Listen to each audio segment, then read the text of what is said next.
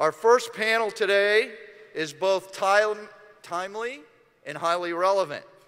When are cyber attacks an act of war?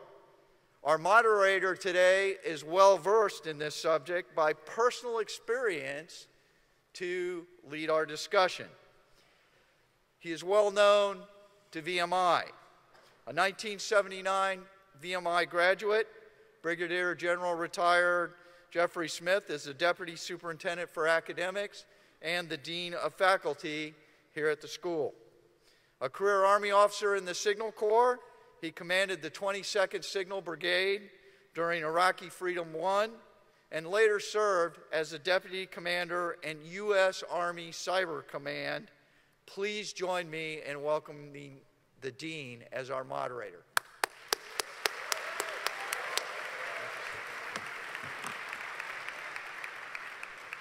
Good morning. So today we're going to talk about that last question that was asked. It's going to deal with our national interests. They've dominated the news in these last few years. Lots of questions. What constitutes an attack? What happens when that attack becomes an act of war? How should we respond? And in fact, should we in fact be engaged in attacking, especially creating effects that might be constituted or considered acts of war by adversaries? So what is a cyber attack exactly? Vandalism, warfare, something else? That'll be on our table. And we have three great members of this panel that will each address you for about 15 minutes. So I'm going to introduce you to the first. Eric Jensen, Associate Professor of Law at BYU School of Law, who teaches and writes in the area of public international law, criminal law, the law of armed conflict, international criminal law, national security law. He's a former Army JAG. Please welcome Eric Jensen.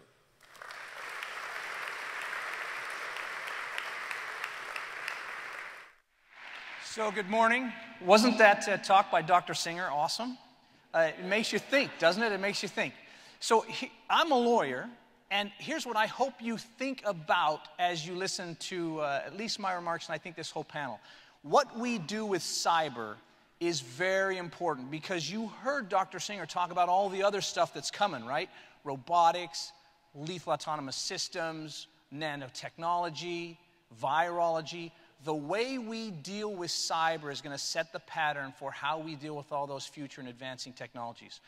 The things you're going to deal with when you're generals and colonels uh, in the military. So I hope that you'll at least look at it with that, uh, with that in mind. Let me just say briefly, it's kind of weird for me to be talking to you about technology. When I started out my career, I started out as a cavalry platoon leader. Every time I'd go down to the motor pool, my, uh, you know, to help work on my, uh, my tank, my gunner and my driver would be like, hey, sir, don't touch that. Don't, don't, don't, don't touch that, sir. Don't touch that.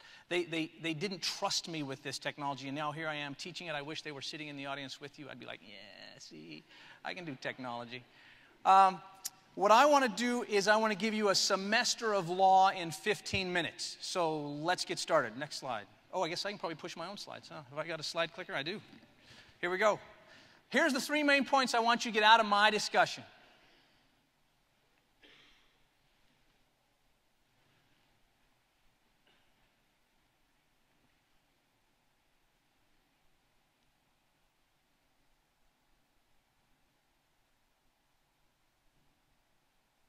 Now, I know you've all got it. You've got the semester of instruction now, but I'm going to take a little more time and wade through some of the details. So let's start with this. There are two legal paradigms with respect to the use of force. One is the jus ad bellum. How many of you are Latin speakers? Raise your hand. All right, then I admit I'm mispronouncing it. If there's no Latin speakers, I always say that's how you pronounce it. Since there are some, I'm mispronouncing it. The jus ad bellum, which means the law of going to war. So, what is the law that governs a nation's decision to go to war? And then the second paradigm is the jus in bello, the laws once we get in war. Two completely separate legal paradigms. And today we're going to talk about the jus ad bellum, the law of going to war. So we're not going to deal with uh, what happens, you know, the Geneva Conventions and all that stuff. That's a completely different discussion. We're going to talk about what are the rules about a nation deciding to go to war with another nation. Here is the current legal paradigm. I'm assuming you can all read that, right? I don't need to read these? Okay.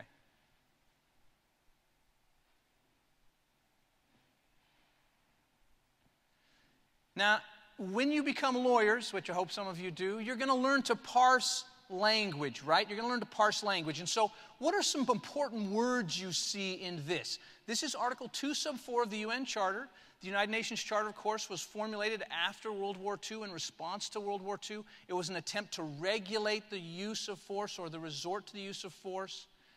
And they, this is the primary legal text that tells us when we can and can't go to war. So, what's absent from this? What's absent from this provision? What sticks out at you is absent from this provision? Well, how about the word war? If this is the text that limits war, do you see any mention of the word war? No, it's not in there. Why? Well, we'll talk about that. Let me, let me give you some examples. Can you see? Oh, look at that laser right there. All right. Uh, so notice it says all members. What does that mean? That means everybody who is a member of the United Nations is signed up to and is bound by this provision. All members. Guess how many countries in the world are signed up to the UN Charter? Every single one. Every single one. Every single nation, every single state, as we call them in international law, is signed up to the UN Charter. So this binds everybody in the world. What do they have to do? It says shall. Is shall obligatory or suggestion? Obligatory, right? It's obligatory. When you say shall, if I say you shall sign up before you go into the dining facility, that means you have to be there, right? It's not a choice. You can't, uh, you know, go down to McAdoo's without signing in. You got to sign up, right? So you shall. All members shall do this. And what shall they do? Well, they shall refrain in their international relations from the threat or use of force. Now, here's the language that's key the use of force, the threat or use of force. We don't talk war anymore. We talk the use of force. We're not precluded from going to war, we're, com- we're precluded from using force. And then there's this other language against the territorial integrity political independence or any other manner inconsistent with the Charter of the United, Nations. We could talk about that in some detail, but let's focus on that term, the use of force, because under international law now, that's what you can't do. You can't do a use of force. Well, that might lead you to some questions. And these are the questions we're going to talk about. If we're precluded from doing a use of force, what is a use of force, particularly with respect to cyber, right? I mean, think about cyber stuff. We're going to talk about cyber stuff. What's a use of force with respect to cyber stuff? Not an easy question, actually. And then we'll talk about actors and how actors fit into this, because remember, who does Article 2, Sub 4 govern? Just nations, right? And there are lots of people out there who have cyber stuff who aren't nations. And then we're going to talk a little bit about targets. So let's start with levels of force. So, all right, what is the use of force? Put your mind out of cyber for a second. What is the use of force? Think of something that's a use of force. Shout it out. What's the use of force? Okay, that sounds good. So for me, it's a tank, right? Because I was a tanker when I began. For me, when I think of rolling a tank across the border into what was then Czechoslovakia when I was, my unit was on the border, that would have been a use of force, right? The Soviet Union, which existed then, wouldn't have thought that was a good thing to do. They would have considered what I did as representing the United States a use of force. They would have thought they were at war. Under the UN Charter, of course, we don't use that term war, we call it a use of force. They would have thought it was a use of force. Or if we'd have sent, you know, some aircraft and, lo- and dropped a bunch of bombs on some city, that would have been a use of force. What's a use of force in cyber? What is it that we're going to say is a use of force in cyber? Let me show you a video clip. Okay, take a look at this. Start from the inside out. All storage and production of Chimera is done here, in this lab on the 42nd floor. Hunt's target will be the Chimera, stored and manufactured at Biosite on the 42nd floor. That's the bad guy. If you look at Hunt's operational history, and uh, I have, he invariably favors misdirection over confrontation. You'll never break into Biosite from the bottom where security is heaviest. No garage entrances. Lobby's protected by five guards on rotating patrol. Not going in from the ground. Show me the atrium. The atrium? One of a kind. Runs down through the center of the building. Provides 24 hour natural light via mirrors and daylight storage cells optimal growing conditions for the virus. Ends in a glass floor which doubles as part of the lab ceiling. Uh-uh. The atrium roof closes at sundown. And if the louvers are up for more than 40 seconds at night, the civil emergency alarms are tripped. Those even I can't stop. Ethan, we have a total of 40 seconds to get you in and the cables out. No. Hunt will prefer to enter biosite somewhere from the top where security is minimal. He'll undoubtedly engage in some aerobatic insanity before he'll risk harming a hair on a security guard's head.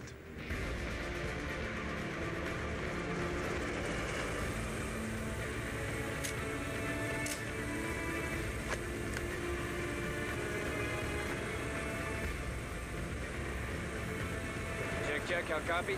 Yeah, five by five. Luther, how we doing? Not there yet, Ethan. I'll give you the word. Billy, ready to go?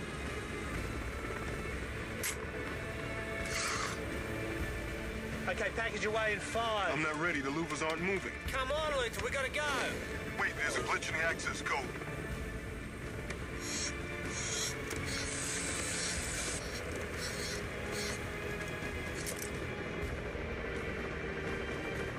Luther, we're out of time. On the count. Please, baby, open up. Open up, baby. Five, four, Come on. three, two, one. I'm going now! Ethan, wait.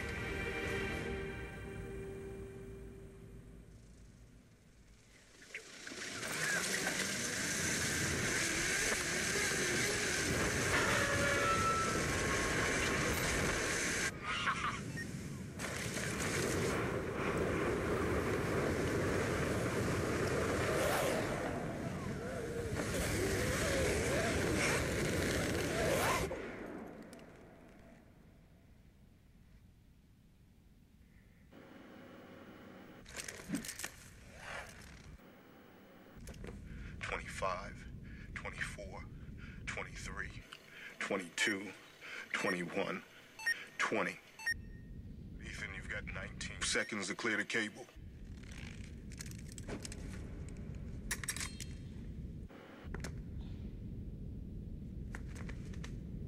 Okay, retracting cable.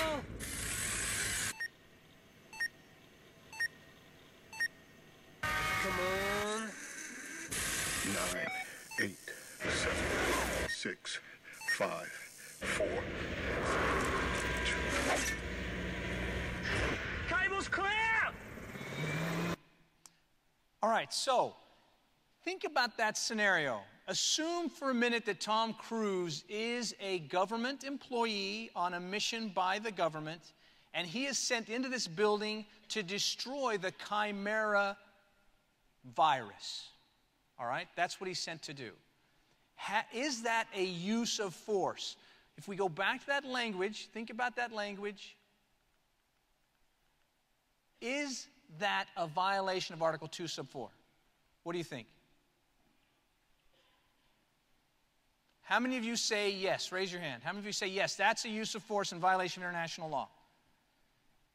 How many of you say no?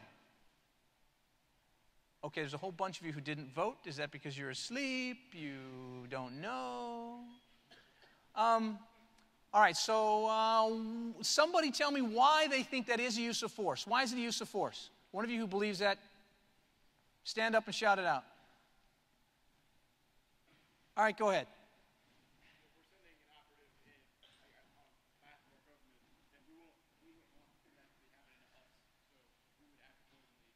Okay, so if we're sending an operative in on behalf of the government, we wouldn't want that happening to us. We would think if someone did that to us, it was a use of force or an act of war in the old terminology.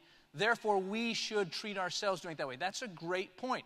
Um, wh- who, do- who doesn't think it's a use of force? Who's willing to stand up? Come on, you're on the edge of your seat. Stand up. Give it to me.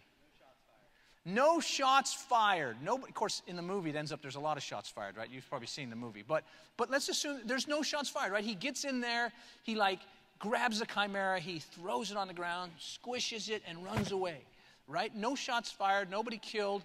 Is that a use of force? Now, was he armed? Yes. Does that matter to you? What if he'd have gone in without a pistol? Does that make it not a use of force? His hands? He might be Bruce Lee. Uh, so now think about that in the cyber context. What if instead of sending Tom Cruise in, we hack into that building's system, we find the control valve that controls the temperature in the place where the chimera is stored, and we just turn it way high so that the chimera is destroyed because of the heat in its container. Is that a use of force? Is that a use of force? You think it's still a use of force? Why? Because of reciprocity. If somebody did it to us, we would think it was use of force. Uh, okay, well, so that I think is a tough question, right? It's harder to analyze because you were saying, or, sorry, you were saying no one sh- fired shots. That's why it's not a use of force. Does it require shots? You heard Dr. Singer say one of the things he thinks about cyber, if for it to be an act of war, it has to include some kind of damage or destruction. Well, there's this thing called the Tallinn Manual. It's uh, put together by a bunch of smart folks who, uh, who, who understand this cyber stuff and understand the law of war. And here's what they said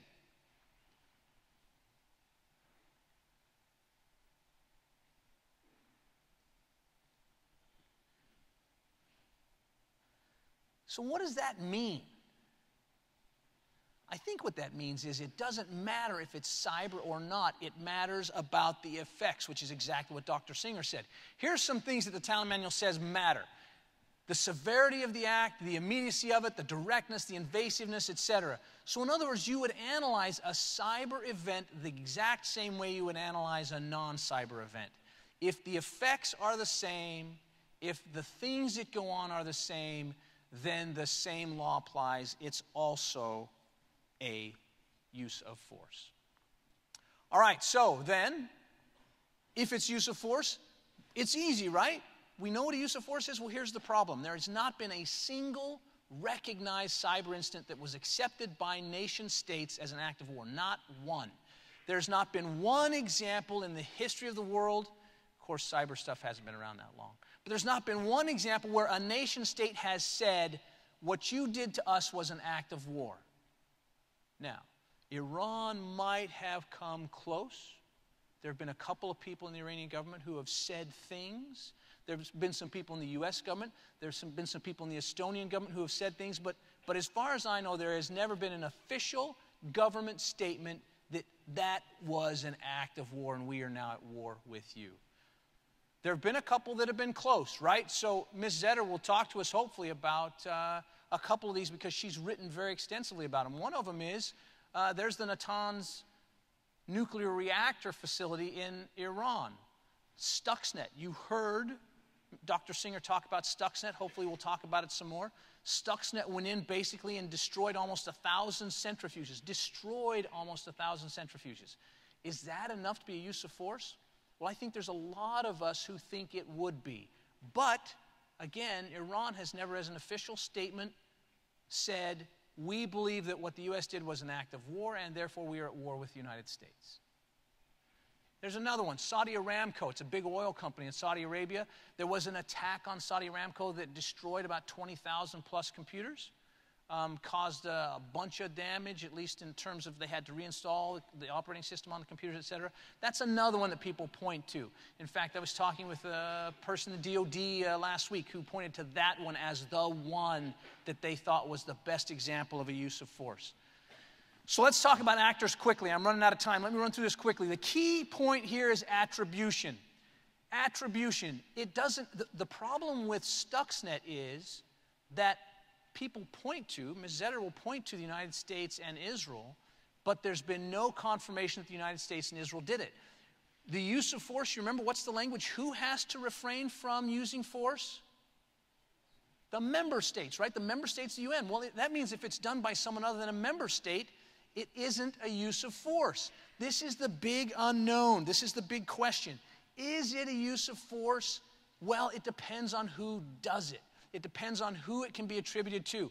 Here are the ways you can get to attribution. Now, again, we're really getting into some legal terms now, but here's how you get there. Is it a state organ?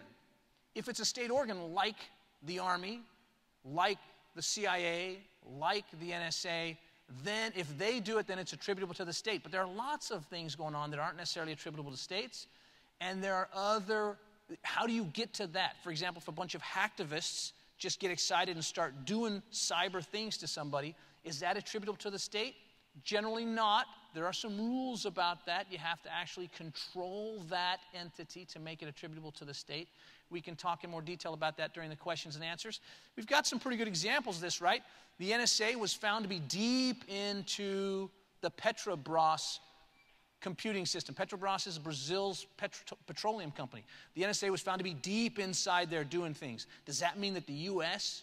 is that's attributable to the U.S.? We've got five Chinese members, of the, five members of the Chinese military who the U.S. has indicted for things that they have done. Does that mean that it's attributable to China and that what they did was in fact a use of force against the U.S.? These are questions that, that the law is designed to answer and that we, we can talk about in some detail. Last point targets. Who are the targets with respect to this? Well, that's one of the great things about cyber is it opens up a whole bunch of targets that aren't normally available to you. It's hard to get at certain things with kinetic weapons. Easier to get at some of them with cyber. Now here's what the Department of Defense Office of General Counsel says.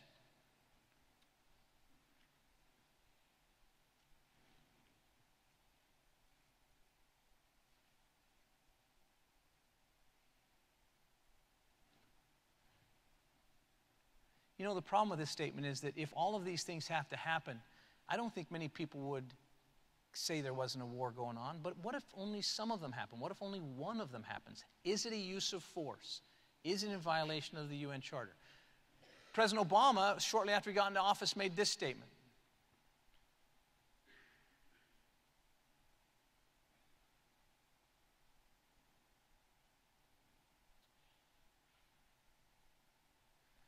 That moves the needle a little bit closer, right? So if it's a critical national infrastructure and you're messing with it, then maybe we're going to say it's a use of force. Maybe we'll come out in public and say, hey, what you did was use of force. Think about the Sony attack, right? This is what President Obama said about the Sony attack.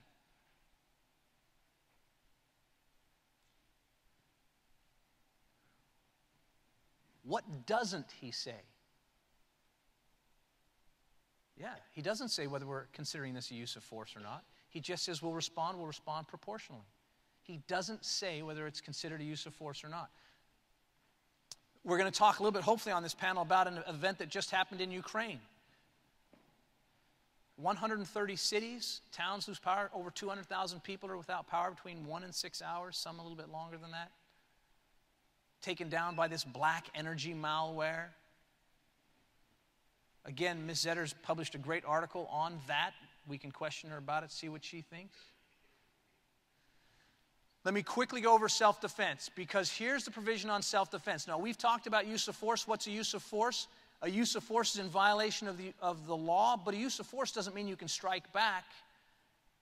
To be something you can strike back, it has to be what this article says an armed attack.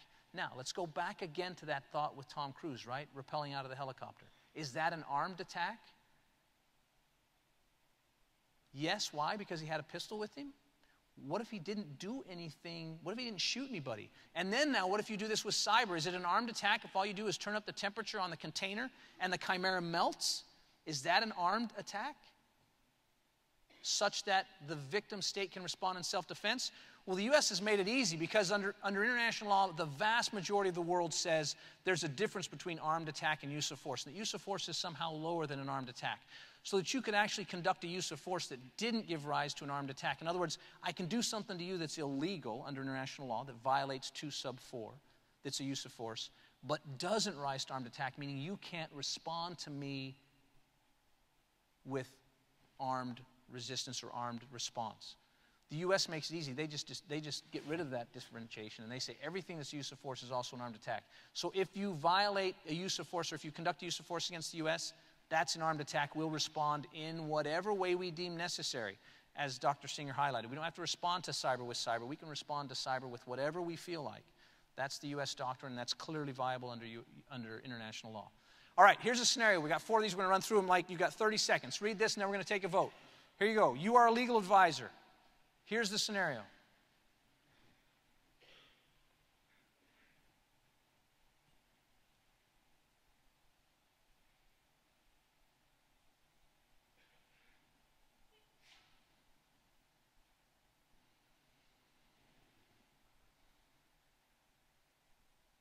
All right, first of all, why would you put a million dollars in that guy's account? Yeah, you're framing him, right? Okay, so this is a really good idea. Is this a use of force? Let's vote. How many say yes, it's a use of force? How many say no, this is just good policy? Okay, let's go to scenario two.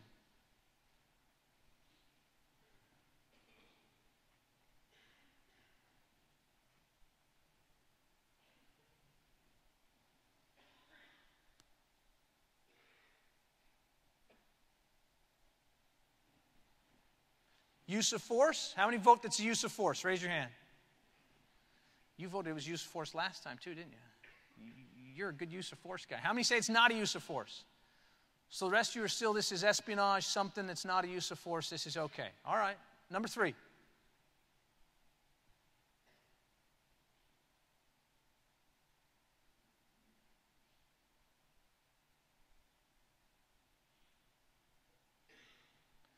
What's the tricky part here? The tricky part here is might we use those guys? What if we just pay them the money and have them do it, right? So the issue here is attribution. If we just pay them and have them do it, is it a use of force? Let's assume we're going to pay them. How many think this is use of force if we pay them to do it? Raise your hands. Oh, I got a few more of you in that one. How many of you think it's still not a use of force? Still okay? All right. A lot of you are not voting. All right, scenario four, last one. Everybody has to vote on this one.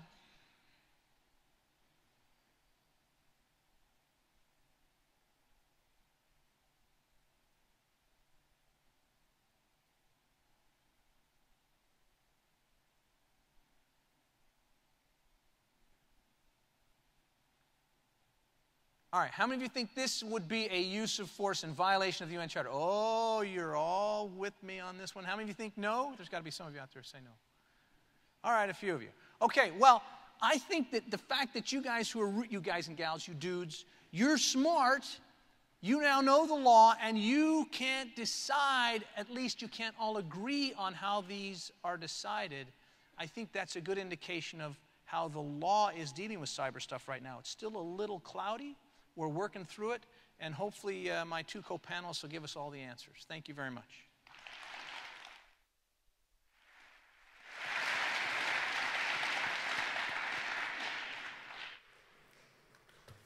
Uh, thank you, uh, Eric. I think you cleared up nothing,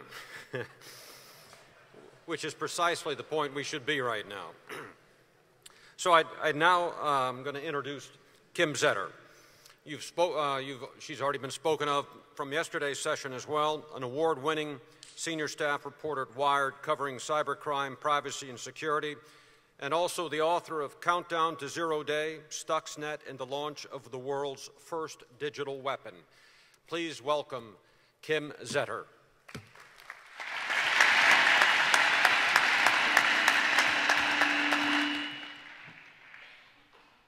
So um, I just want to point out that that Sony hack, uh, the government actually categorized that as cyber vandalism. So that wasn't uh, considered uh, active force or anything by, by the government. Um, Stuxnet, however, uh, I'm going to talk today about um, two attacks one theoretical and one actual. Um, because I think that you can't really discuss the ethics of cyber warfare, or digital warfare is the term that I prefer, um, without knowing exactly what the capabilities are. And so first I'm going to look at a theoretical attack that was devised in a, in a laboratory, a government laboratory, and it was done as a proof of concept only. But it's a very real uh, scenario um, that could actually work. So this happened at a, a, government national lab, Idaho National Lab, where some researchers were asking the question would it be possible for someone remotely, some remote hackers from China, North Korea, or uh, Russia, to cause physical damage or physical destruction of equipment here in the US with nothing more than digital code, ones and zeros? And the result of that question was the Aurora. Whoop, that's not supposed to play. Okay, well, I'll go to that second. The result was what's called the Aurora generator test. And it happened March 4th, 2007. I'm going to give you a little context before we see the video. So what it was targeting was a generator that's used for electricity. Um, in this case, it was a 27 ton generator that had been used in the oil fields of Alaska, had been retired. And what they did was they targeted uh, something that's called, it's a safety mechanism on the grid, it's called a protective relay. So the way the electric grid in the US works is that everything operates on 60 hertz, and that means everything connected to the grid has to be operating at that same frequency. And the protective relay is there to detect when something is getting out of sync with that 60 hertz. So for instance, a generator connected to that grid, if it starts to get, the frequency is too high, the protective relay will instruct the breaker to open up and that will disconnect the generator from the grid to prevent the generator from getting damaged and also to, get, to protect uh, the grid from getting damaged. So what the attackers did was they subverted that safety system and they, and they turned that safety system into an attack mechanism. They instructed the protective relay to ignore what it normally believes is a normal condition and what it normally believes is an unsafe condition. And they tricked the protective relay into thinking that an out of sync condition of a generator is actually a normal condition in which the, the breaker should be closed and the generator should be connected to the internet. So the attack consists of just 21 lines of code, just 21 lines of code. And what it does is it instructs the breaker, the protective relay, to open the breaker. And when that breaker opens, the generator speeds up because there's no push, there's no load pushing back against the generator now. The frequency of the generator increases. And then the code instructs that protective relay to close the breaker when the generator is out of sync. And what happens is that the generator is producing too much energy and that energy has nowhere to go. It hits the slower grid. The energy bounces back and it hits the generator. And they did an attack, a sequential attack, so it was rounds of attacks. The, the uh, breakers open, the generator speeds up in frequency, the breakers close, the energy hits the generator, opens, speeds up again, closes. And you'll see the effect here in this video.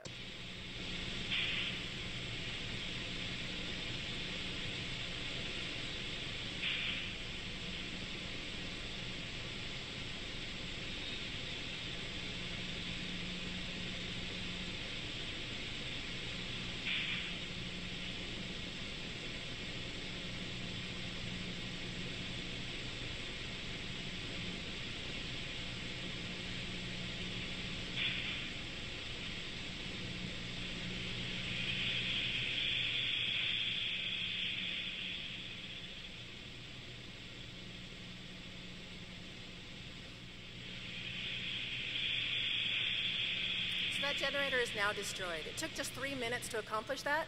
They could have succeeded in just 15 seconds. They built into the attack some pauses so that the safety engineers could uh, check to make sure that everything is okay in between each round of the attack.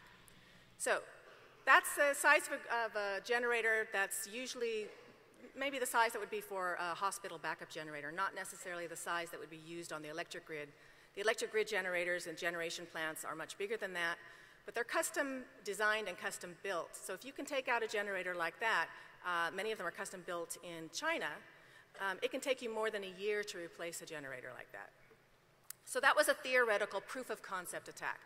Occurring in March 2007, we know now that during that period, March 2007, the government had already created Stuxnet.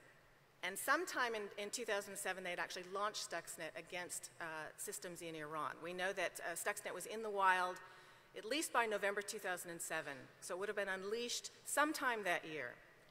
So, how many of you actually know Stuxnet, knew of it before Peter mentioned it this morning?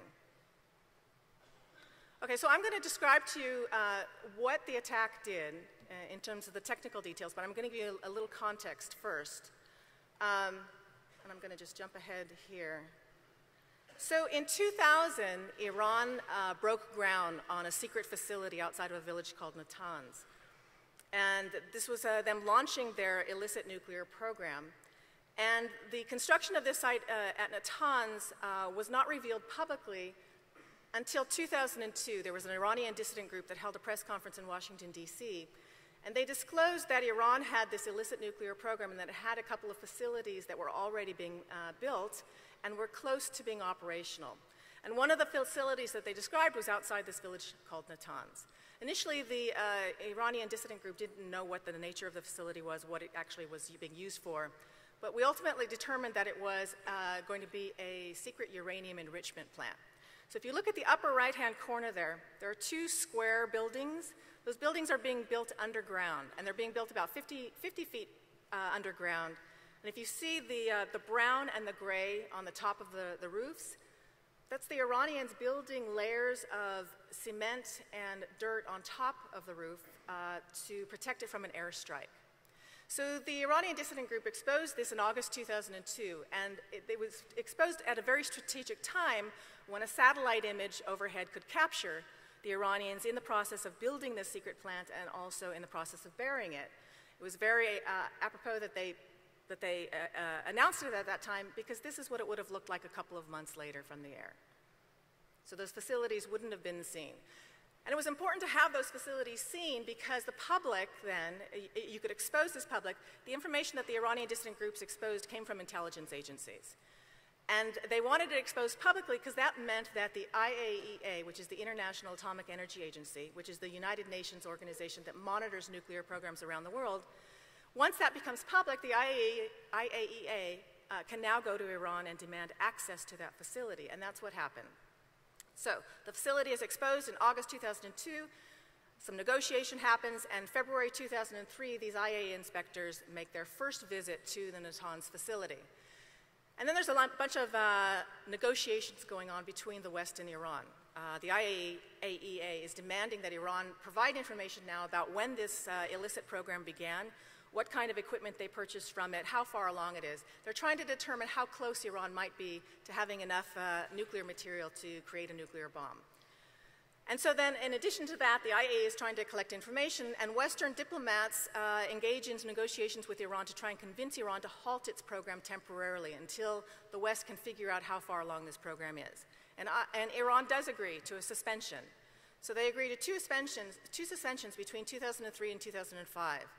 But something happens in 2005 that halts that. In May 2005, uh, Mahmoud Ahmadinejad was elected president of Iran.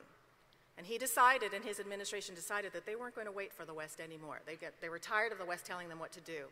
So they announced that they were withdrawing from the suspension agreement and they were going to begin processing uh, uranium. They were going to begin enriching uranium at this Natanz facility. So they announced in February 2006 that they were installing the first centrifuges in a pilot plant in Natanz. So I told you about those two large buildings. Next to those two large buildings was a smaller pilot plant where they test the uh, centrifuges and the enrichment process. And once they've mastered that, then they start moving centrifuges into the underground hall. So in February 2006, they begin enriching their first batch of uranium in that pilot plant, and we see the first signs of sabotage.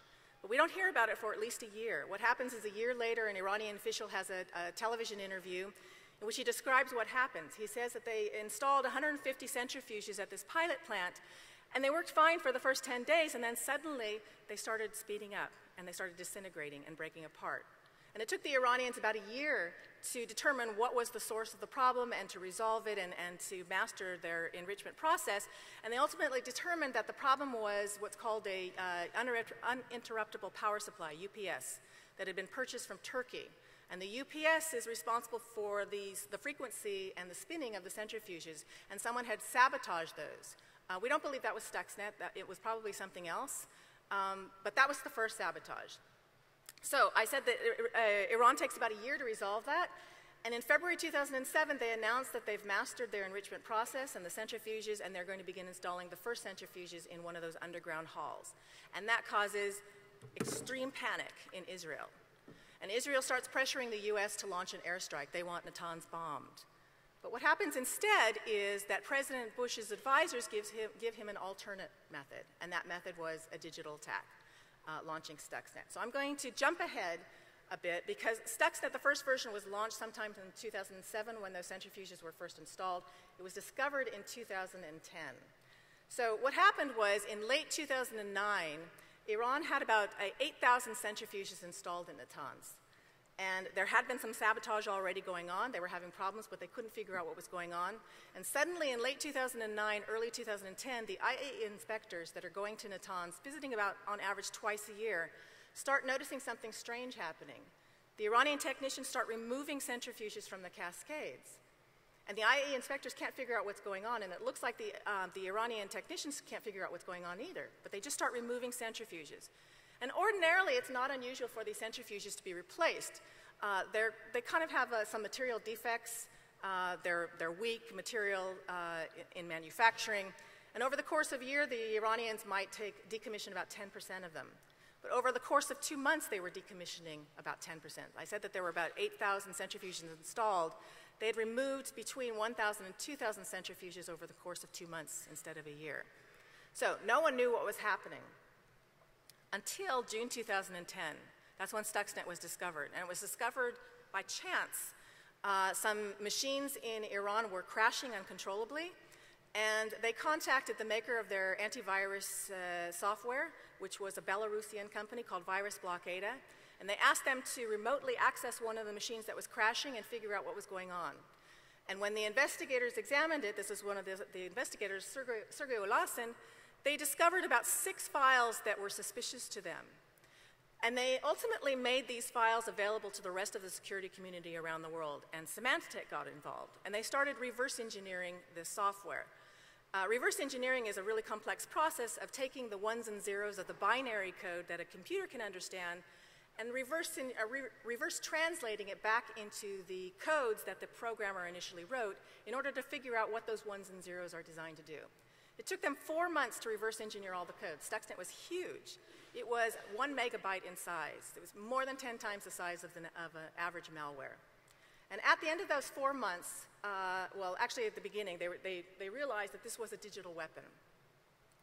And a digital weapon, like any conventional weapon, has two parts. It has the missile portion, or the delivery portion, that gets the weapon to the, its, its destination, and has the payload. In this case, Stuxnet used what are called, uh, well, I'll go back here one second, uh, zero day exploits in order to spread itself. A zero day exploit um, is a, a zero day vulnerability is a vulnerability in software that's not yet known. And because it's not yet known by the manufacturer, the maker of the software, it means there's no patch available for it, and it means that there's no um, signatures in antivirus software that will detect something attacking that vulnerability. So the attackers used five zero days. That was the first sign that this was a nation state attack because zero days are resource intensive in order to discover the vulnerabilities, resource intensive to create an exploit, and you're not going to burn five exploits that take a lot of uh, uh, effort to create in one attack. That is, unless you're a nation state.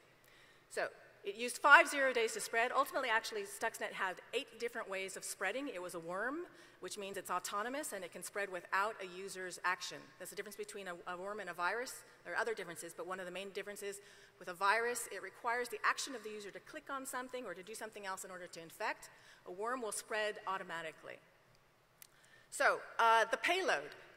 So Stuxnet would infect any Windows system uh, going back to Windows 2000. It would, it would, it had zero days that would, um, that were vulnerable in seven versions of the Windows operating system. Millions and millions of machines uh, were vulnerable to this. But even though Stuxnet would infect any Windows machine that was vulnerable, it wouldn't unleash its payload unless that system had a very, very specific configuration. This was a precision weapon, and it was designed to go, to go only after uh, or to, to cause destruction only on a very specific system. And what did that configuration consist of? Stuxnet was looking for the presence of software made by Siemens, a German company.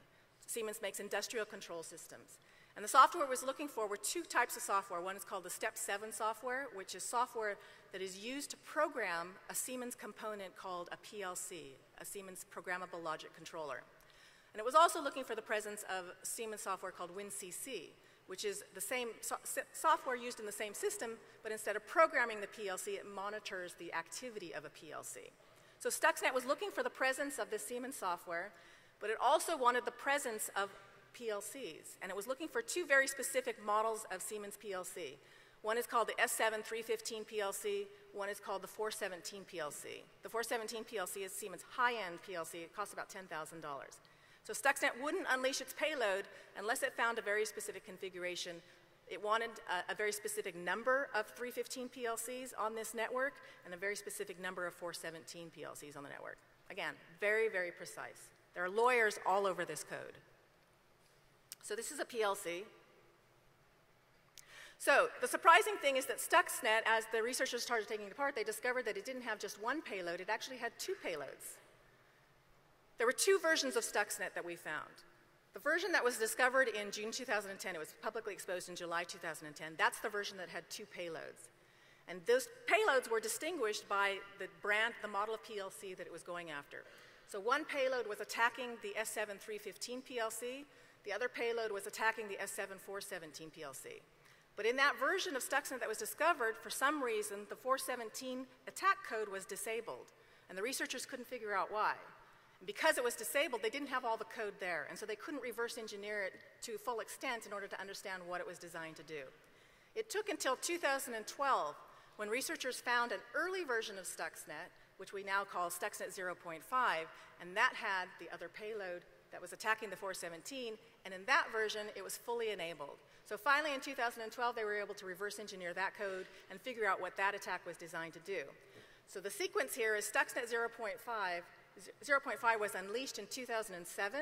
Stuxnet 1.0 was unleashed in 2009. It was unleashed in, in several rounds of attacks, June 2009 and again in March and April. The sequence here, when you see that one was fully enabled in the first version and disabled in the second, that tells us that the attackers started their attack initially targeting the 417 PLC. And something happened in June 2009. They changed their tactics, they disabled that attack, and they launched a separate attack. So, what were those attacks? So, Stuxnet 0.5. Launched in 2007, it targets the 417 PLC. What it was doing, it was sabotaging valves on the centrifuges. So the centrifuge in the corner there has three pipes coming out the top of it, and there's a valve at the end of each pipe. Uranium hexafluoride gas gets pumped into the centrifuge. Inside the centrifuge, there's a rotor that spins at supersonic speed. And the centrifugal, centrifugal force of that rotor spinning separates isotopes in the uranium hexafluoride gas. It separates out the isotopes that you need for uranium fission from the isotopes that you don't, I'm sorry, from nuclear fission from the isotopes that you don't need. And the, the enriched uranium with those uh, uh, isotopes that you do need then gets pumped out one of those other pipes into a second set of centrifuges where it's further enriched, just like panning for gold. And it goes through a cascade of several stages until you reach the point of enrichment that you need. The third pipe is the depleted uranium that gets sent out. So what happens? Stuxnet gets on the 417 PLC and it sits there silently for 30 days, very stealthily. And all it's doing is recording the normal activity on the system. It's recording the normal activity of the PLC, and it's recording the normal activity of those centrifuges. And at the end of that 30 days, that's when the sabotage kicks in. And what it does is it closes a random number of exit valves on those centrifuges. So I said that one of those pipes, the uranium hexafluoride gas gets pumped in, and one it gets pumped out. If you're closing the exit valves, more and more gas is going into those centrifuges, but it's not getting out. And Stuxnet waits, it keeps those valves closed for two hours or until the pressure inside the centrifuges increases five times what's normal. And during that period that it's causing that sabotage, it's taking that, that data that recorded during that first 30 days and it's now feeding back that false data to the operators. So it recorded the normal operations over 30 days, and now when it's conducting its TAC, it's tricking the operators who are monitoring the system into thinking that everything is normal that the valves are open, that the pressure inside the centrifuge is, no is normal. It also disabled the safety mechanism. These cascades, a cascade is the, the configuration of, of, multiple centrifuges. These cascades are equipped with a safety mechanism that's designed to detect when centrifuges are spinning out of control, when they're heating up, or when the pressure inside the centrifuges is, is increasing. And that safety me mechanism is designed to automatically kick in and isolate a centrifuge that's having problems. But Stuxnet disabled that so that they could also fool the operators and fool the safety mechanism. So at the end of that attack period, two hours or until the, the pressure increases five times, everything goes back to normal. Operations continue, they go back, and the attack rinses and repeats. It's a cyclical attack. So eh, for the next 30 days, Stuxnet will sit there silently and recording normal operations again, and then another round of the same sabotage will begin. What that tells us is that the attackers weren't looking for one-time catastrophic damage, they were looking for incremental damage over time. And that's much harder to detect, because if you've got everything exploding all at once, the Iranians are, clearly are going to know that something's wrong. But if you have incremental damage and random valves opening and closing, it's going to be very hard for them to pinpoint what the problem is. Is this a material defect? Was there a problem with the way the technicians installed it? Is there a programming problem? So it was designed in, in particular to confuse them. The result of that is, as I said, that the, as the gas goes in, the pressure in inside the centrifuges increases. And when the pressure inside uh, the centrifuge increases, the uranium hexafluoride gas begins to solidify.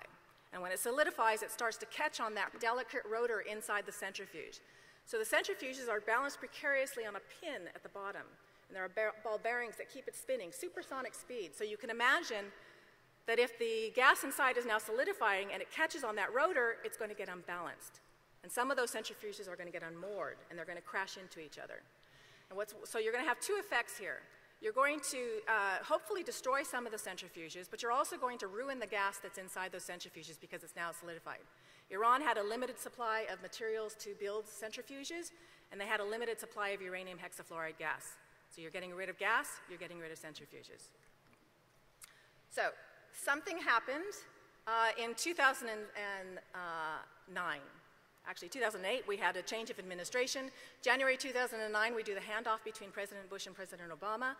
President Bush tells Obama about the, the, the, project. This is a covert operation which has to be approved by uh, the sitting president. The sitting president was leaving, so it has to be reapproved by the incoming president. Obama reapproved it. The second round of Stuxnet is launched in June 2009. It's more aggressive than the earlier versions. And this is where they change tactics. So Stuxnet 1.0, instead of targeting the valves, targets the frequency converters that are controlling how fast those centrifuges are spinning. Oops. And what it does is something very similar to the first attack. This time it sits there for 13 days recording normal activity on the PLCs and with the centrifuges. And at the end of that period, the sabotage kicks in, but instead of closing valves this time, it increases the frequency of the centrifuges.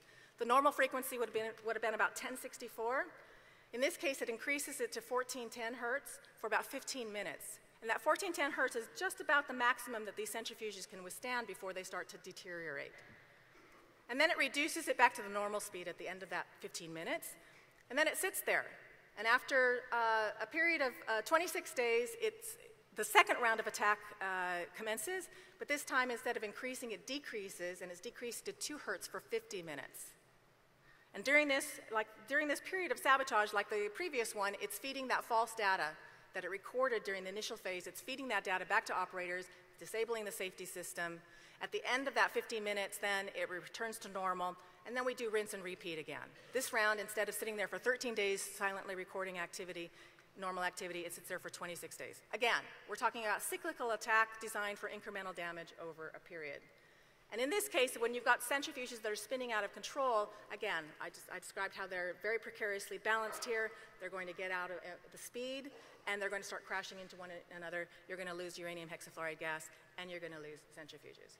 Um, I'm going to just jump quickly ahead now to the ethics of digital weapons here. Um, so there are a lot of pros and cons to using digital weapons, and one of the biggest pros is if you can actually avoid all-out kinetic warfare and achieve the aims that you want with digital warfare, then you're saving lives.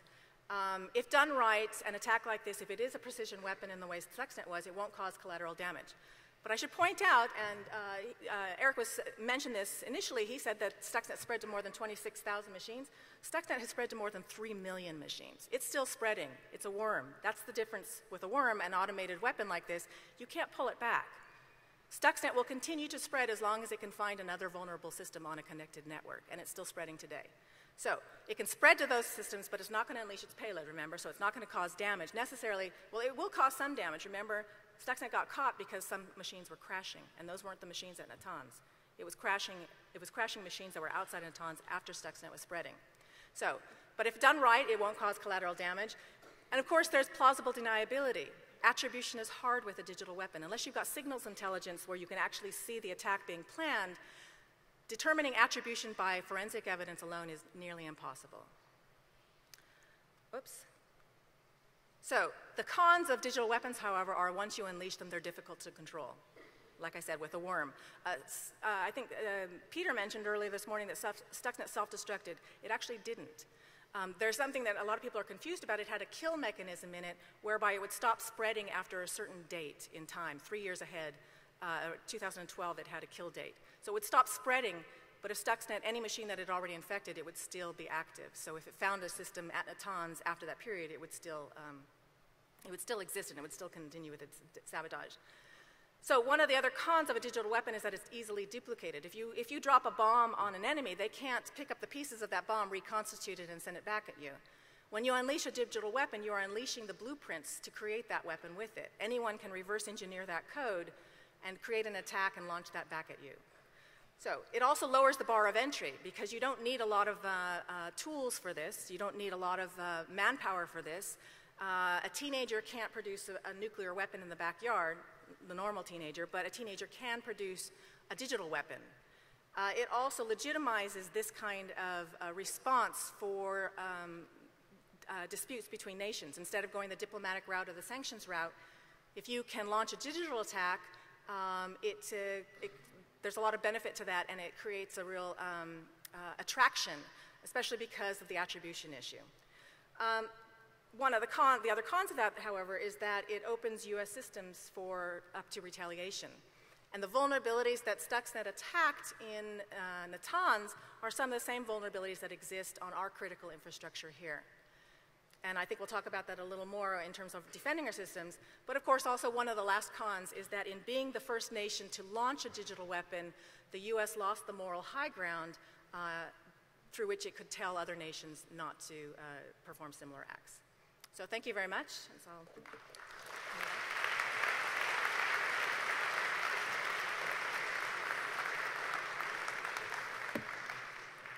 Uh, so what we just heard was a great description of the anatomy of a weaponized information object or piece of cyber. And we're going to go into some depth as to whether uh, the panel considers that to be an act of war. Probably no organization in the United States has been more challenged by the expansion of cyberspace and the proliferation of cyber operators than the Department of Homeland Defense. And so, here to represent their concerns and their challenges is Dr. Phyllis Schneck, Deputy Undersecretary for Cybersecurity, National Protection and Programs Directorate, Department of the Homeland Security. Welcome. Thank you. Good morning. You are the future of cybersecurity. After all the scary stuff you heard, how's that sound? How many of you are going to go into this field and help me out? All right, I'm going to try at the end of this to boost that up. Um, so thank you very, very much for having me here today. I'm going to talk a little bit about uh, what we have in front of us as a government, as a department, a little bit about our role, a little bit about uh, where we're seeing the future. Um, I'd like to get you engaged. I'm looking forward to some of the question and answer. A um, couple of neat trivia things about the team I have. Uh, as I brought in uh, Deputy Assistant Secretary Greg Touhill, General Touhill, former CIO of Transcom. They run the transportation. He's from the Air Force. Uh, his brother, Chris Touhill, is the namesake of one of your scholarships here. So it's an honor to be here. Greg wanted to uh, come with me today. He is running an exercise for us today. So we are having many companies throughout the private sector and many agencies get together at the Secret Service and practice what they would do in the event of any kind of cyber attack. And I'll talk through some of what we see today. Um, you've heard a lot about what constitutes an attack or war. We talk about this every day in our world. You've heard some of the scarier sides and a really good understanding of the mechanics of a couple of the many, many attacks that we see every day. I want to talk a little bit about what we're doing about that. They've scared you. I'm going to pull that back a little bit and give a little more of an optimistic view. Um, so I came to the department about two and a half years ago from the private sector. Um, I worked at a large cybersecurity provider, and so now I've seen uh, some of both sides. So I'll try to debunk some of the myths of government. Um, we really are not hiding anything. uh, we push out as much information as we possibly can. So in my role, I have, uh, when I left the private sector, a lot of my friends, they give you a little party when you leave. A lot of my friends said, uh, good luck. Uh, why are you doing this? Um, Godspeed was one that I got. Um, I walked onto the finest team of 2,000 scientists on the planet. Um, these guys have it. So that is your cyber mitigation and response piece. So in the entire Department of Homeland Security, Secretary Johnson always tells us cybersecurity is a part of Homeland Security. And we have a lot of different roles as a department. We have a cyber mitigation or the mitigation and, and response of cyber threat, which was I have charge of, and that part of 2,000 folks that do that. But also in the department, we have a law enforcement component, we have Customs and Border Patrol, policy, FEMA. You've all been to the airport TSA. Say hello and thank you, please, next time. It's our job. Uh, so we are a large department that not only leverages cybersecurity and enables it, uh, but we also use it in everything we do. We have the only statutory privacy officer. That means the law makes us have her. in any of the US government, any of the US civilian government. Privacy is a big part of everything we do. And I'll talk about that in a few minutes. So, my team, the mitigation and response to cyber threat, a lot of which you heard, I look at cyber threat as two components people and machines. I used to run a large partnership as a volunteer for the FBI, 33,000 people. I boarded an airplane once with 84 FBI agents. I don't recommend this to anyone if you don't have a good sense of humor. Um, the lady at the gate took their card that says they were carrying a weapon. She took a card, really in this day and age, she took a yellow card uh, from each one of them as they boarded, and then she saw me and she said to the agent in front of me, Will you be transporting this prisoner all the way to Atlanta? Um, I will tell you that wasn't so long ago. Uh, we're working on the whole partnership thing and, and helping our scientists in the private sector, our scientists around the world, work more with our scientists in government. Guys, we face an adversary that has absolutely nothing to lose no barrier to entry, no way of life to protect, no ethical questions. They're not at a conference like this because they don't care. They have plenty of money, and forgive me, they have no lawyers. So we have to fight that. That's an asymmetric battle. So every day we have to look at why does this happen in a world where we are designing ourselves out of safety. So if you go to a show like the Consumer Electronics Show and you see all the new toys, and basically in about five years, if you can't eat it, it's connected If you can't put it in your mouth and chew it up, it probably has a computer processor in it. And that makes it a lot more vulnerable. Because the way these things work, whether it, it's a fancy attack or whether it's just an intrusion, I look at a spectrum from the kid in his bedroom just trying to make noise all the way to somebody destroying physical infrastructure. We can talk about how that happens. But every one of these intrusions starts with the same thing. Your computer's not smart, it's just fast. And all it does is pull an instruction off memory and it runs it. It's like a dog eating food. It takes it, it fetches it, that's the real word, and it runs it. Our job is to make sure that computer does not run that instruction if it's going to hurt it. And if it does run it, it quickly tells us all about it. See something, say something in cyber. Every one of the attacks you've heard about this morning, and every one to come, and the hundreds of others that you don't hear about, can be mitigated in a couple of ways. One is just understanding how to make systems stronger, and you've probably heard a lot of that. But number two is making our infrastructures a lot stronger to this. So embedding security in how we design the very products, working with companies like you just heard Siemens mention, but there are many others, to help their devices understand when they receive a bad instruction, to push information out to make sure that as our electronic world receives things, it knows not to run them, and if it does run them, it tells everybody. See something and say something in cyberspace. So on my team, when we look at how we protect, our job is again that response and mitigation of cyber threat across all of federal civilian government, uh, all of private sector, to include academia, small to medium business, state, local, tribal, territorial. How many of you want that job? Oh, come on. come help me, make me feel better. Uh, when you look at what we do to protect the federal civilian government, the federal agencies, two main programs that I know you've heard about in the news. One that protects the outside, that looks at all the traffic coming in and out of all the federal agencies. A lot of privacy lawyers on this one with us. Let us do it. And then ones that protect the inside, monitoring the networks inside your federal agencies and showing us sort of combining what happens inside the federal agency so we can see on a big dashboard. Your car's got a dashboard. Some of you have. I had a really old car in grad school, and the battery dead light would light up after the car stopped. We're trying to get a little bit ahead of that and start looking at how we can continuously monitor inside our federal agencies to look at how things are operating differently. When you see something operating differently, you're ahead of the adversary. They don't want you to know that. You can actually catch them once they're in, you can watch them for a while, and actually stop the damage. So we have literally computers protecting computers inside federal agencies and outside. We collect all of that data with our privacy experts, and we're now finding ways to push it back out to you to share it into the private sector so that data miners and scientists can look at that data, use that, find other cyber threats, compare that with what uh, private cyber companies have, and they can then compete and make a lot of money and innovate off tools that use that information and combine it with all the information that they have. This is happening right now. This is what we do. On the private sector side, we can use the same programs that we protect the federal government, a lot of that using classified information, and we found a way to push that out to the private sector, and also I have sat in large rooms with large teams of people, with executives from the NSA and others to figure out, and believe me, these rooms are no fun. No phones, no windows, and the temperature fluctuates from 40 to 140 every five minutes. Uh, we've spent hours in there trying to figure out how to declassify more information and share it out. That's how we get ahead of the adversary. Take back the infrastructure and make it so that whatever code they plant on whatever physical infrastructure, something is going to sense that something's wrong a heck of a lot sooner than has happened in the past. We can't prevent people from writing code. It's pretty easy to write a piece of malware. You can actually buy a piece of malware with that sophistication right now if you have enough money. It's easy to spread it. What we have to do is understand how you detect that.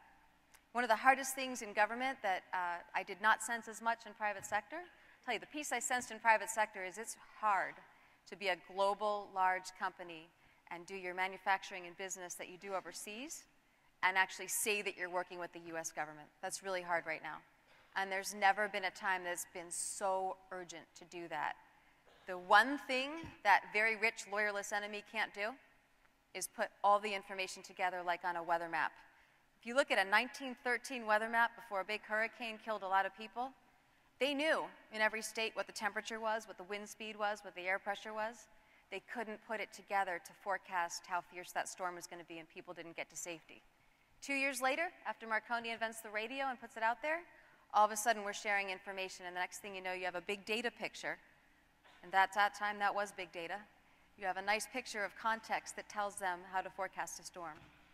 And what we're putting together in cyber is using the data we get from machines.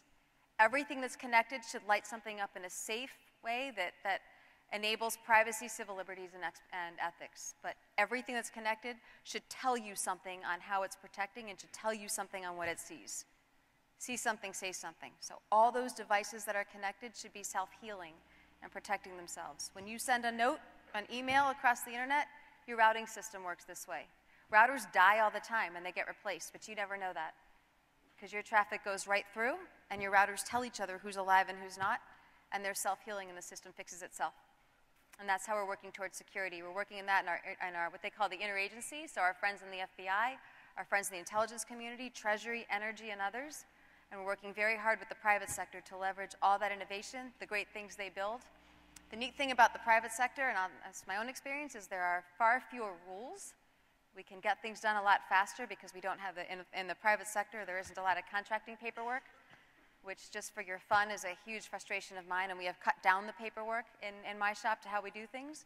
We've engaged parts of the Department of Homeland Security that know how to make contracting easier, so we can buy better stuff, more secure stuff, a lot faster, so that we're no longer delivering yesterday's technology two months late. Uh, and really moving forward, this is not yesterday's government, because my team won't tolerate that.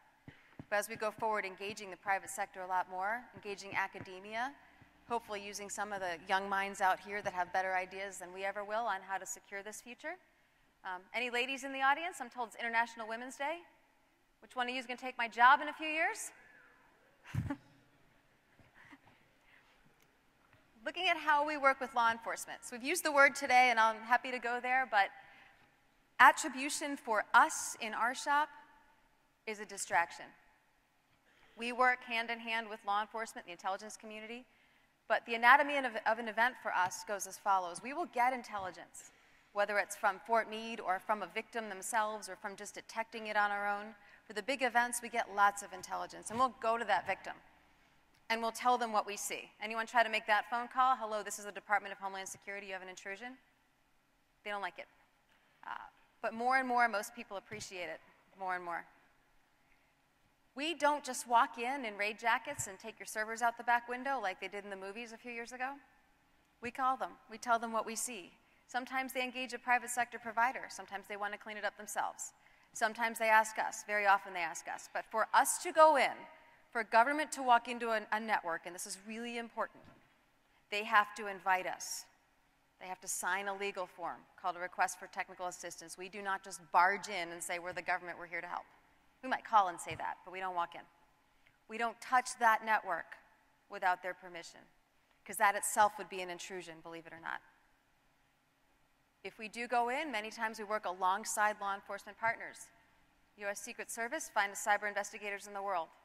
My friends in the FBI, my friends in Homeland Security investigations, our friends in the, in the intelligence community, Sony had everybody. Um, we all go in and work it together. Some are looking to get the bad guy and put them in an orange jumpsuit. Some are looking for the nation state attribution. And some like us, our job is keep that network running. We are here as the Department of Homeland Security to preserve the way of life. So it's not about protecting a machine. I don't actually care about protecting a machine. I care what's on that machine, what it holds, what it does, and what it means for our infrastructure.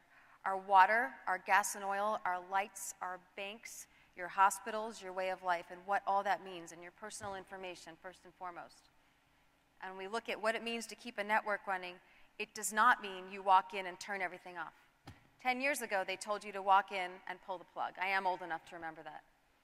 We don't do that. We don't do that for two reasons. One is if you walk in and pull the plug, they're out of business. That company, that agency can no longer function. That's why we didn't do that at OPM. I'm happy to talk about that as much in the Q&A as you'd like. We were knee-deep in that one. Uh, but the second reason you don't do it is you don't tell the adversary you know they're there. You pull the plug and, and game on. They know you're in there. And then they start running around and moving where their software is to different devices or shutting it down if it's remotely controlled, making it harder. Anybody ever watch Tom and Jerry? Well, they like that. So you don't want them to know you're in there. At the same time, you're keeping the network running, you're running a response, you're gathering evidence, you're working with law enforcement, and you are sharing as much information as you possibly can. Many cases will work with victims under a program I know government acronyms, but pr uh, Protected Critical Infrastructure Information, PCII, if you want to use a fancy acronym. That means we're not going to tell anybody the name of the company the information came from. And we keep that solid. In fact, my team was so good about that, we went to brief our secretary. We gave him a number instead of a name of a company. And we had to brief him on the rules of the program literally before we'd give him the name of the company. Because we truly are invested in building trust with our private sector partners. If we don't build trust, we don't have anything. I'm a techie, my background's high performance computing, and my top priority is building trust with people so that we can get our people engaged and they will trust us to share enough data so that we can protect everybody else at the same time we're learning what happened here. We have teams within our US CERT, our computer emergency readiness team, response teams, that we call them flyaway teams. They get on airplanes overnight, sometimes over weeks, leave their families behind. They do what we call cleanup on aisle nine, on the big ones. They'll go into a network that's an absolute mess, I mean infested, cyber headlights. And they'll go in, they'll clean up, and then they'll come back with how it happened, what happened, and during the ongoing response, pushing out as much information as we can to everybody else. Very often, for example, just an example, if it's a water plant, we'll try to tell all the other water plants we've seen things like this. We'll try to warn across the critical infrastructure because many of the devices you see that control your critical infrastructure control all of them. And many of them go back to the 1960s. So we're working with not only updating legacy systems as they control, as they connect to new systems, but protecting the new internet-enabled systems. So inside of our operations part, we have a large partnership part to work with private sector and to get people talking about the science they know.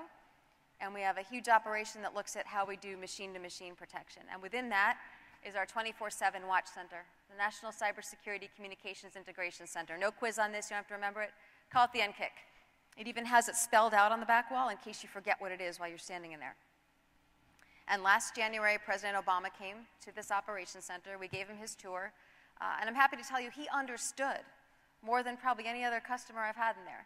He understood exactly what we were showing him. We have the dark room, the twinkly lights, the big screens. Um, what he did notice is that all our guys were wearing suits, and what he astutely pointed out is they probably didn't wear suits every day. And he's right. He said, Did you dress up for me? But when we had the big screens, they show you we're protecting all the agencies. We can show you the traffic patterns.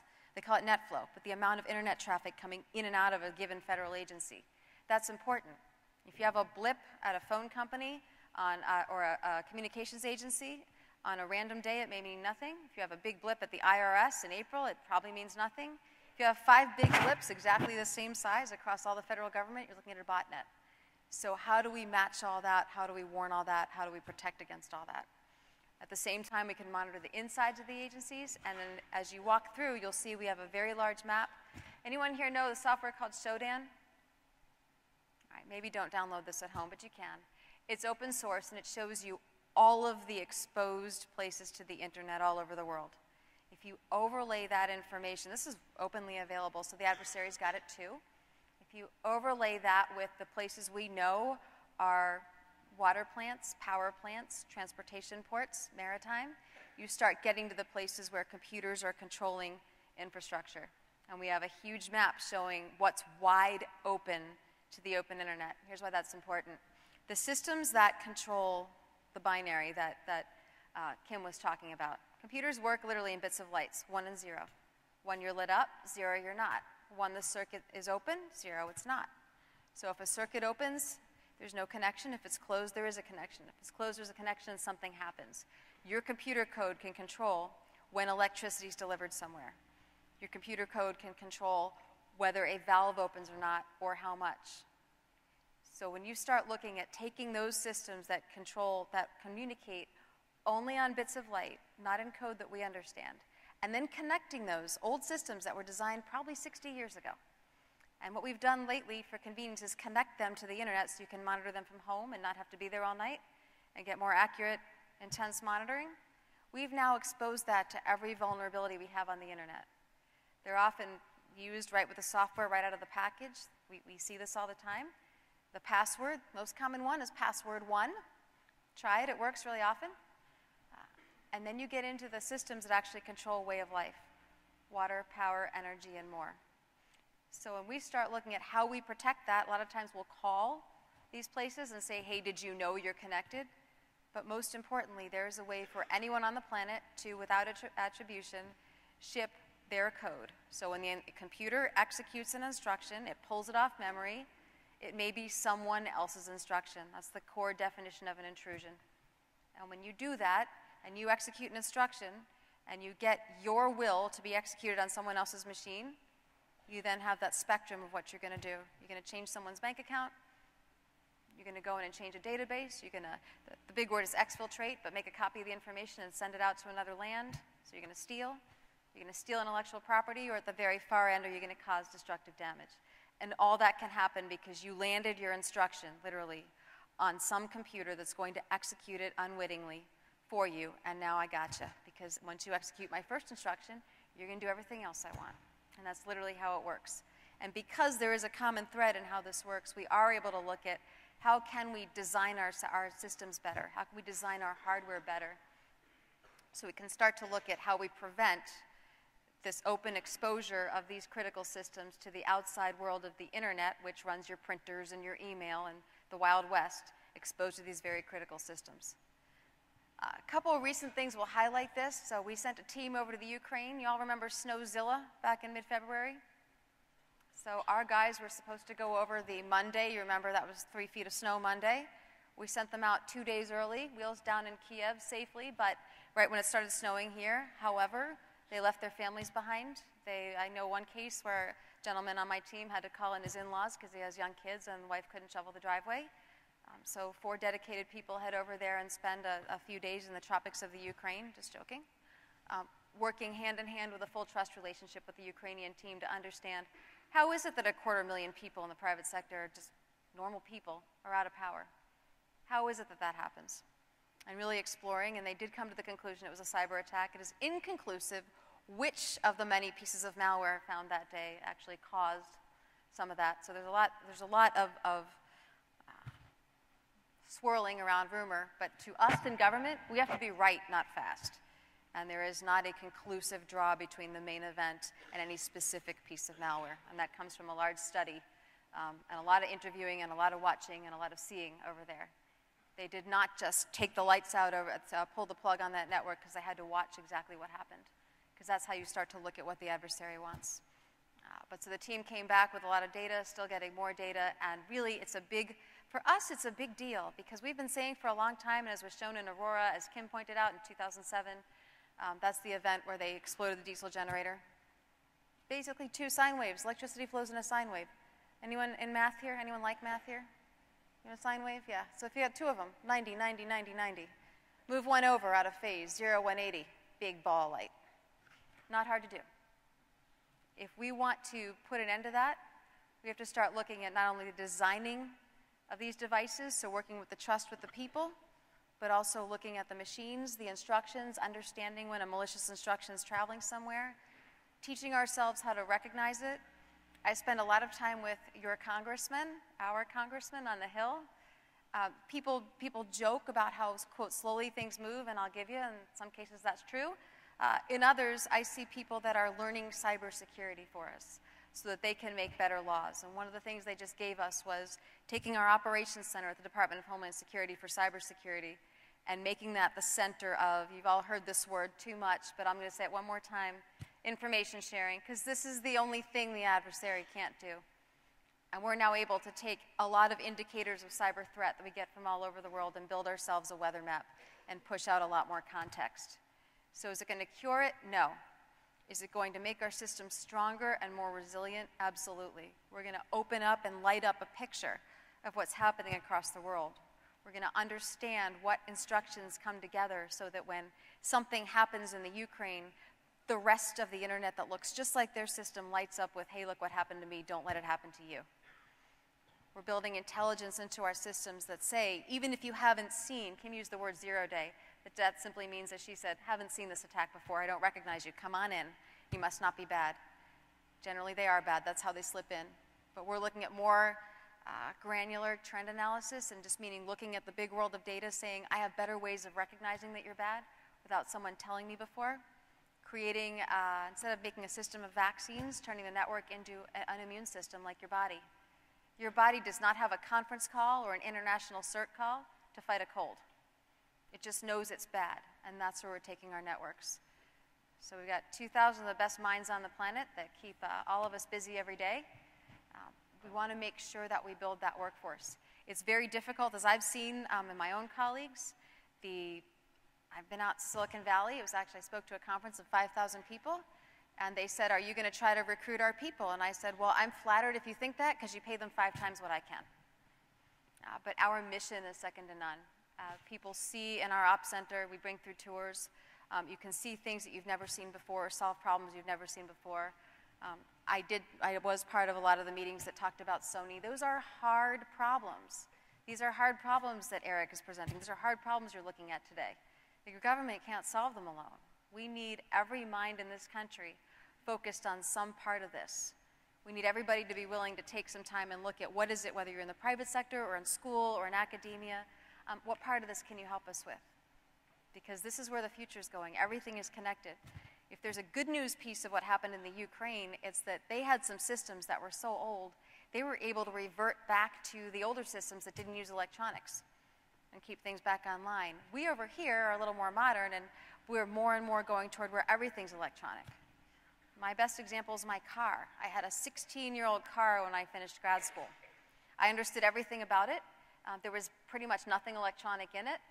Um, I could add oil, it was really simple. The car I got after that, which was a 1998, I opened the hood, I didn't recognize it. Half the things were electronic, the battery dies if you leave it too long, there's a lot of blinky lights that only turn on when they want to. Um, that's where we're going, and we have to start to better understand what those machines do automatically.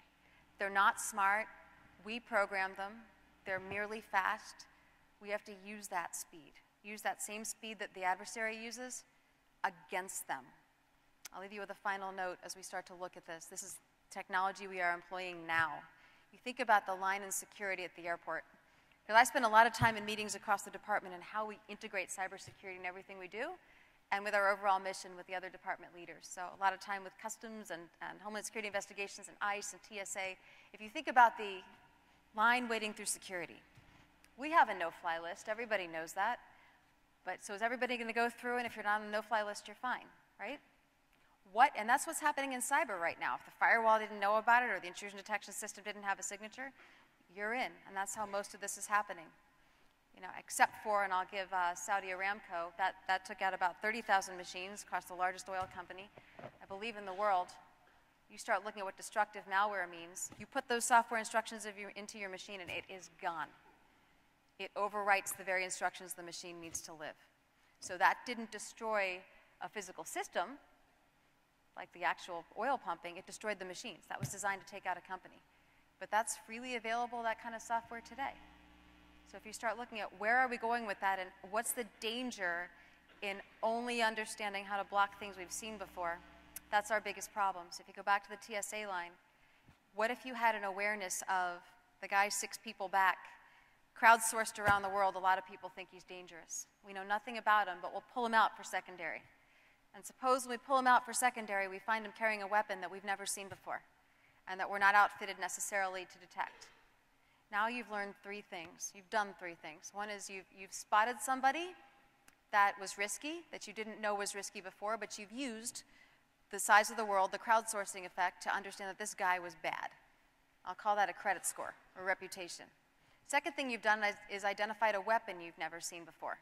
Now we have knowledge of a new weapon, and we can immediately warn all the other airports about that weapon. And third thing, most importantly, is you've kept a risky guy off an airplane. So this is what we want to do in cyber. See something, say something. And we can do it a lot more quickly in cyber than we can do in human time. Something comes into us, we have no idea the payload, we've never seen it before, that's a zero day. But we can look at what, what's that machine IP, ID that's sending it in, the IP address? What does the rest of the world think about it based on private sector data and government data and data we get from the intelligence community? Never been done before, putting that together. And we're doing that now. What if, for every instruction that flies around, we can look at its originator and say, what do we know about you? How risky are you? Who do you talk to? Who are your friends? And this is with our privacy and civil liberties experts, hand in hand. We do not do anything without them because we have to put information together and we have to preserve our very way of life. But we're able to put more information together about the originating traffic and traffic to which uh, traffic from our agencies is destined and start looking at what the risk score is on that and building out a system where we now understand far beyond what we already know, what we should be accepting, and then start looking at what they're carrying and building a whole lot of data on what our adversaries are doing that they don't want us to have. So with that, I'll, I'll leave you and look forward to uh, question and answer. And look, guys, this is a very, very big problem. I can't tell you how much I appreciate the opportunity to be here today and to see all of you, at least a little bit interested in this stuff, I hope. This is a big, big challenge for us. The ethical challenge is phenomenal. The technical challenge is doable. Help us get those two right together. Thank you.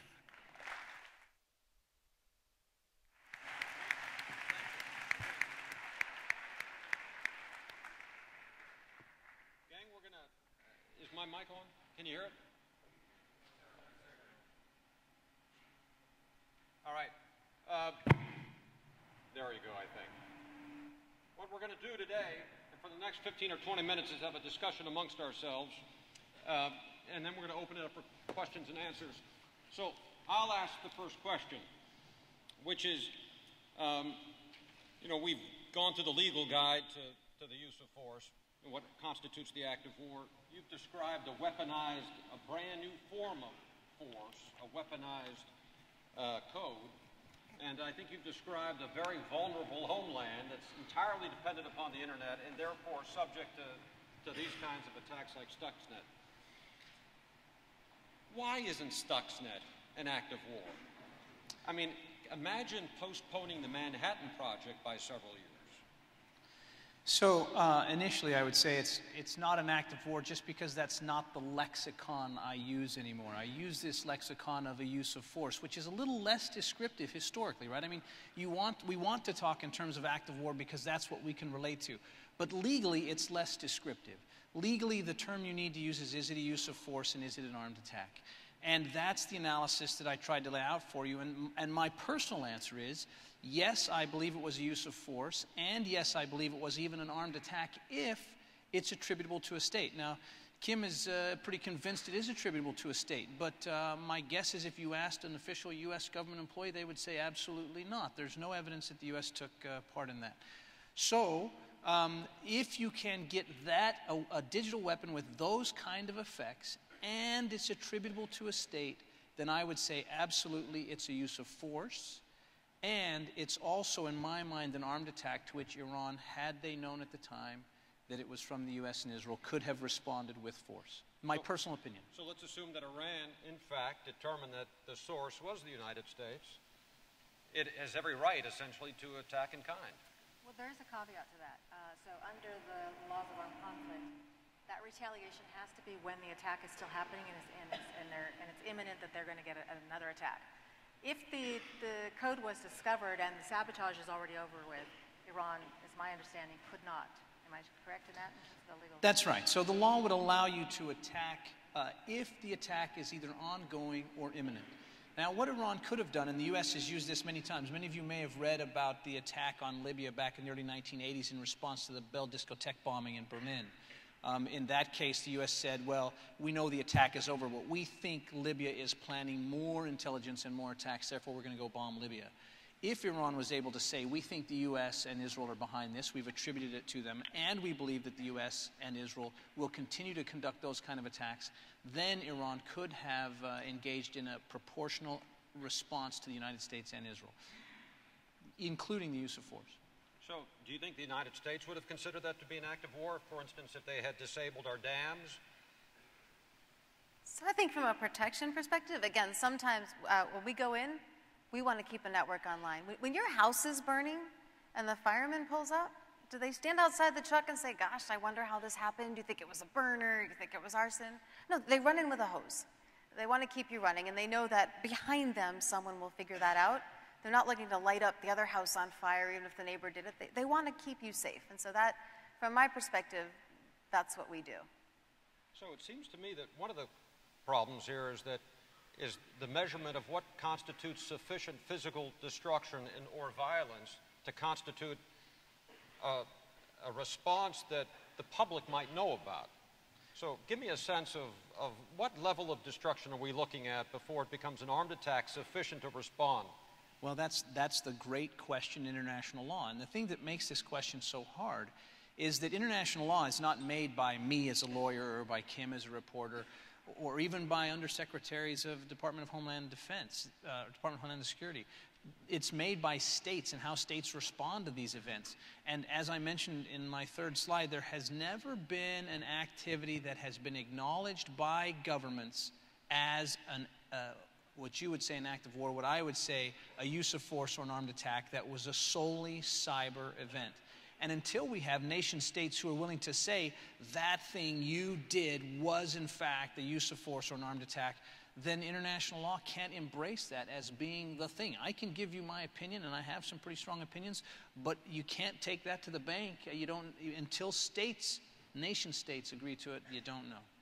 I, I guess I'm surprised too if, if we were to have received such an attack against our nuclear facilities, I, I would have been one of those advisors recommending some kind of response. And I think you, in fact, suggest that Iran did respond to some extent, although it was relatively ineffective.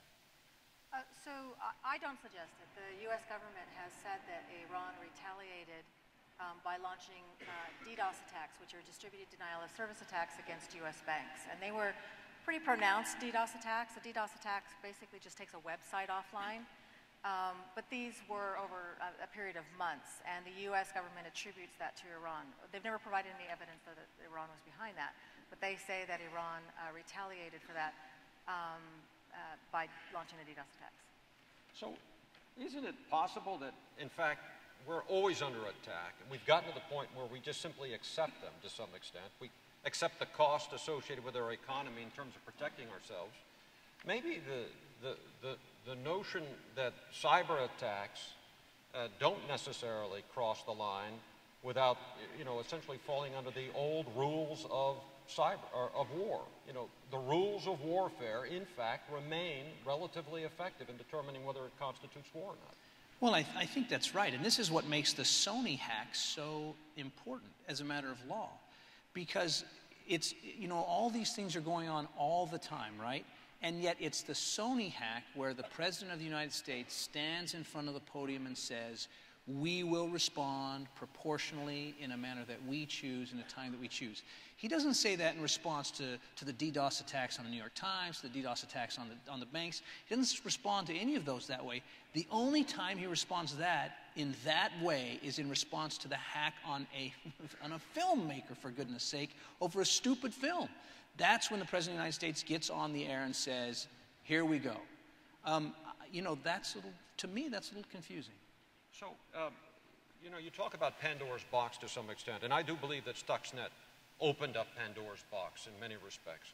But if you consider the preemptive war against Iraq, in other words, you know, the invasion of Iraq designed specifically to rid them of weapons of mass destruction, and if you saw Stuxnet as a preemptive strike to rid them of the capabilities of producing uh, nuclear weapons, in retrospect, assuming, of course, Iraq had WMD, which one of, would, which one of these approaches would have been essentially uh, uh, advantageous, or, or, let's say had fewer cons than pros.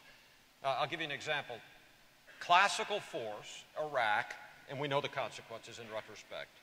Non classical force, i.e., information, weaponized information, and we sort of know the results of Stuxnet. Which one would you choose if you were advising the President of the United States? I, I, you know, when I talked about the pros and cons, I think that the pros of using a digital weapon like this are, um, are, are, are, obvious.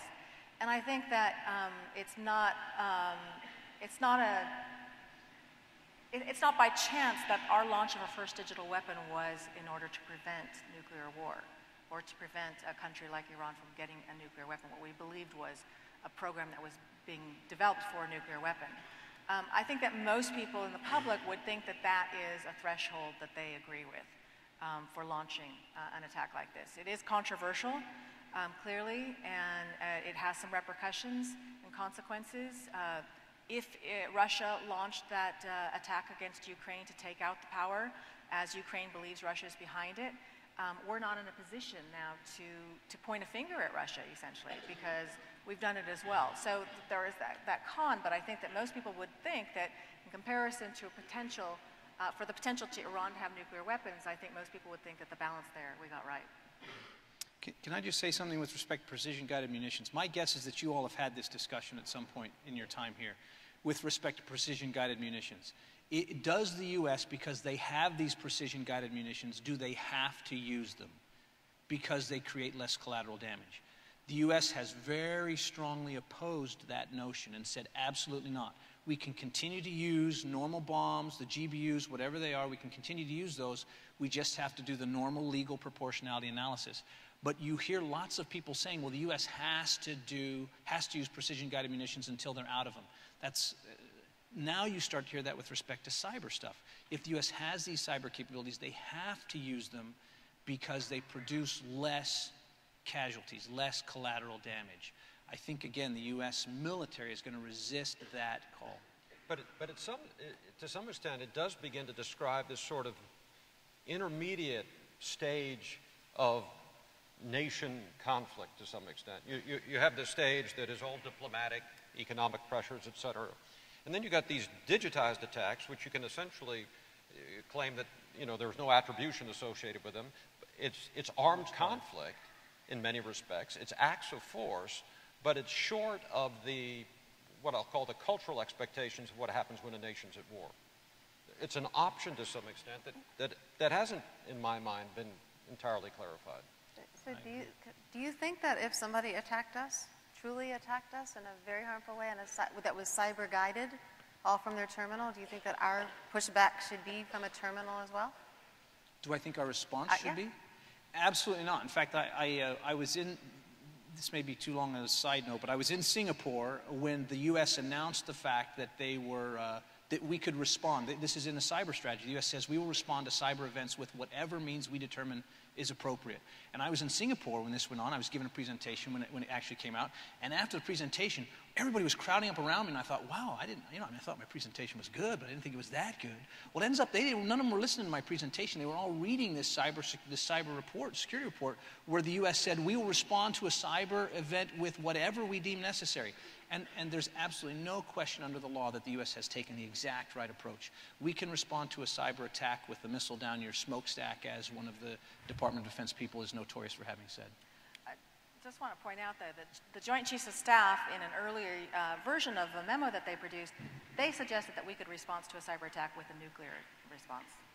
Um, they've taken that off the table. Their subsequent uh, documents don't mention nuclear attack. But at one time, people did think that that was proportional. So, you know, we've talked a little about the impact on Iran's uh, nuclear facilities. And we always talk about cyber Pearl Harbor as, as, a, as a, you know, a wake-up call to the nation, that there's something catastrophic. You can use digits to destroy not just centrifuges, but entire infrastructures uh, that are military in nature. That's what a cyber Pearl Harbor is. It goes after and defeats our military. Can you foresee a cyber Katrina that could create such a havoc in the United States that it would preoccupy the attention of the United States government and make it vulnerable?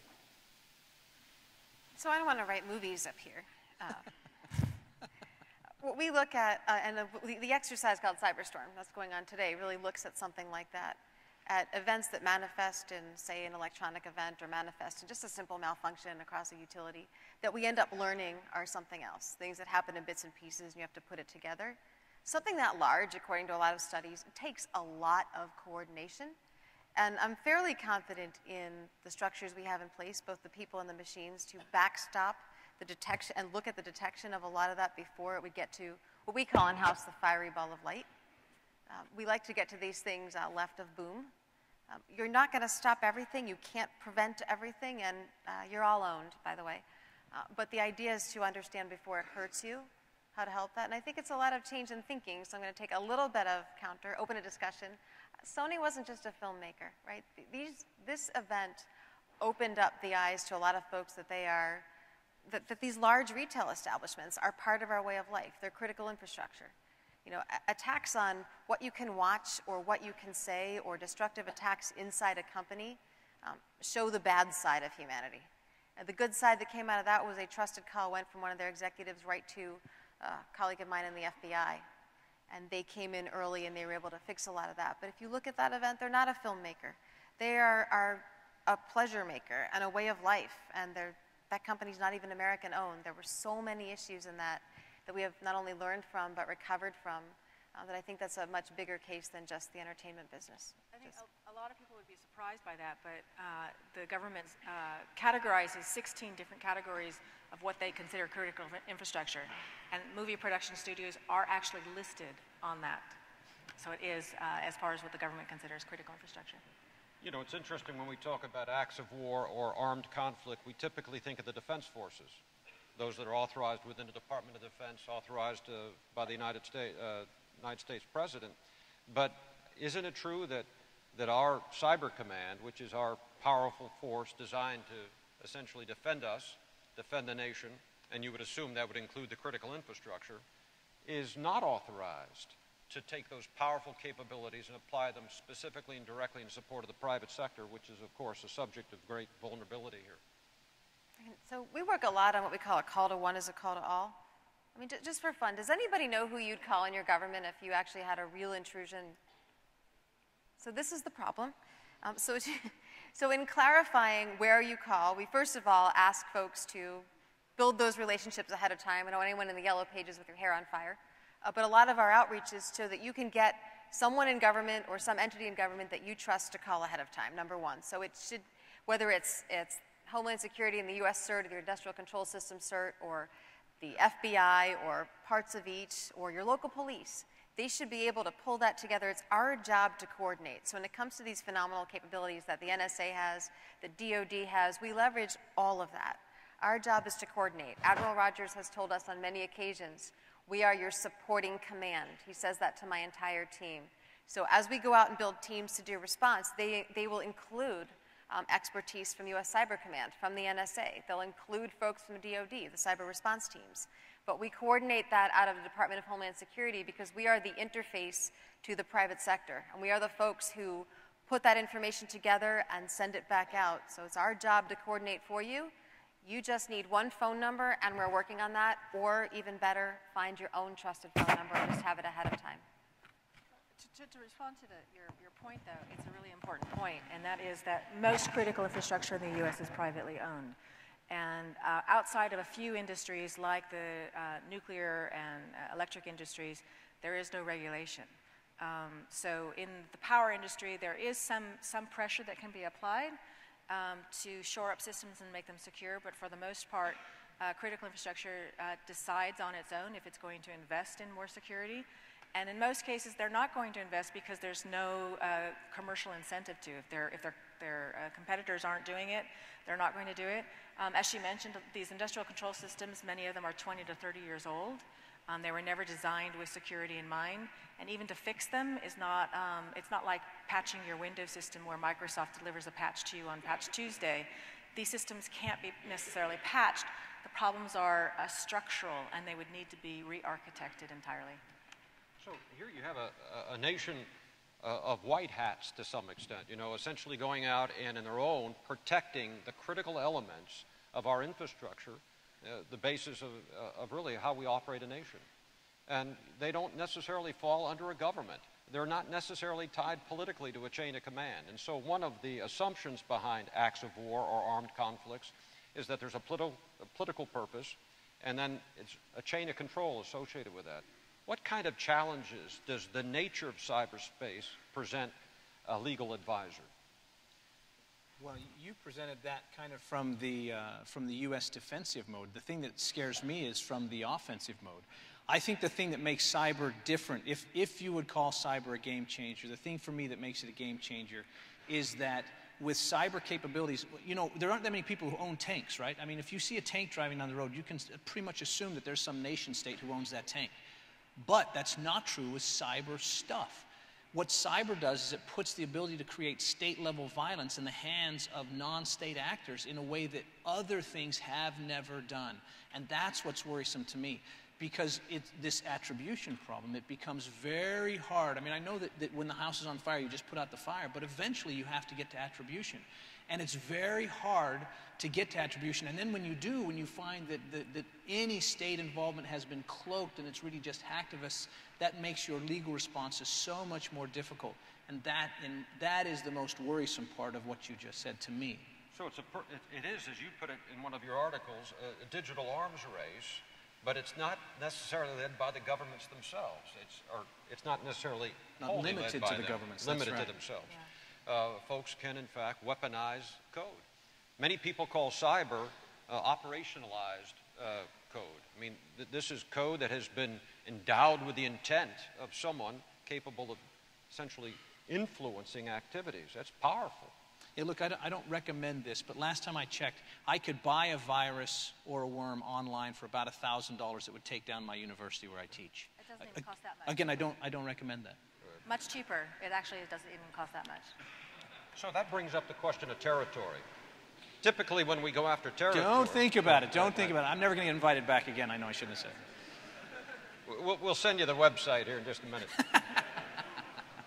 but that does bring up the issue of, of the dark web so to speak. You know, we have physical territory, and it's easy, comparatively easy, to determine if someone's crossed the border uh, with, a, with the intent to harm. What about locations in cyberspace? How do you determine uh, where an adversary occupies cyberspace, and to what extent does that make uh, legal activity problematic? So, so, you can't really determine where the adversary occupies. You have a set of machine addresses, a few billion now, a lot more billion after uh, IP next version of the addressing system. Um, what you can do is watch the behaviors. So I, going forward, and I'll, I'll, go back to the regulation because this is a really interesting debate that, that we're all having right now. In my private sector world, I, I learned a large part of this from our customers. They, again, the private sector owns and operates anywhere from 85 to 90 something percent of the critical infrastructure. It's, it's their world. And they will decide how they use their money and we push that please make cybersecurity part of your risk equation, but some just don't have the money and aren't thinking that way. If you regulate, and this comes from my old private sector world and what, what we saw, you end up going toward compliance and not security. You say, the law says I need one of those, one of those, and one of those, and I have to secure that. And by the time the law gets passed, those are all done. And so now we've regulated ourselves into a world where everybody's spending money only on things that are not so useful anymore. The wide open gaps that have just been discovered are prime territory for the adversary. There's no hope of a new law because the Hill's going to tell you, we just did that, we're on to something else. And then the companies aren't incentivized anymore to innovate and build more better thinking contraptions to fight this war for you because they're already selling that, that, and that on the high stakes market because that's all anybody has to have. On the other hand, we do need a whole lot more incentive for people to start looking at gosh, why don't I lock that up and make it part of my risk equation? So I think when you start looking at, and again, it goes back to the attribution, it's not that attribution is not important. In my world, it's not the first thing we do, but we are hand in hand with law enforcement, and they do do that. What people I don't think realize is the length of time and the complexity of these investigations. It's very hard to pinpoint because of things like the dark web who did it. And when my colleagues in the FBI proudly indicted those five thugs from China, um, they did it after a long, long, detailed, gifted investigation to make sure that they got the right five people. Wow. So let's open it up for questions, gang. One right Right there, sir. All right, young man. That's you.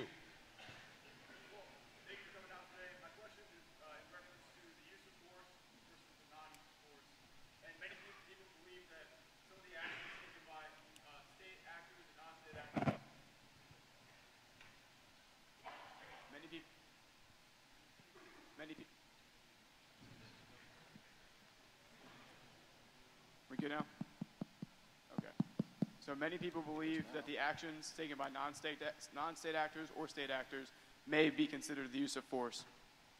Do you think that they have not been labeled as such so that future cyber operations or counter operations are not limited to those state actors and that, that no one wants to set a precedent for what may or may not be considered force? So, this is a great, great question. Um, the U.S. is, I believe, the most cyber capable nation in the world. The U.S. has forever been against regulating cyber norms.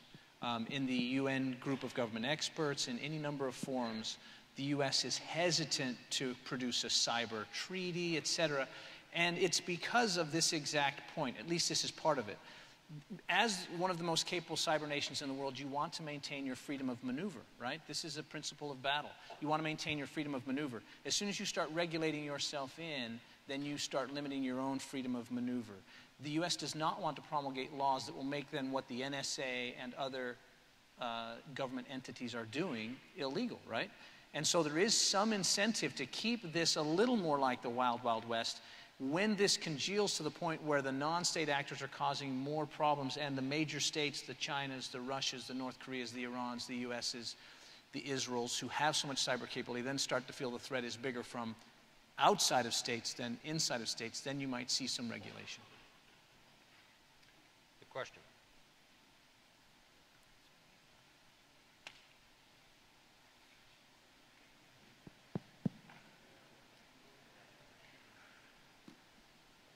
Um, so there's a lot of talk today of critical infrastructure and connecting critical infrastructure uh, to the internet. As a civil engineering major, I'm always think about pumping systems, railroads, um, roadways.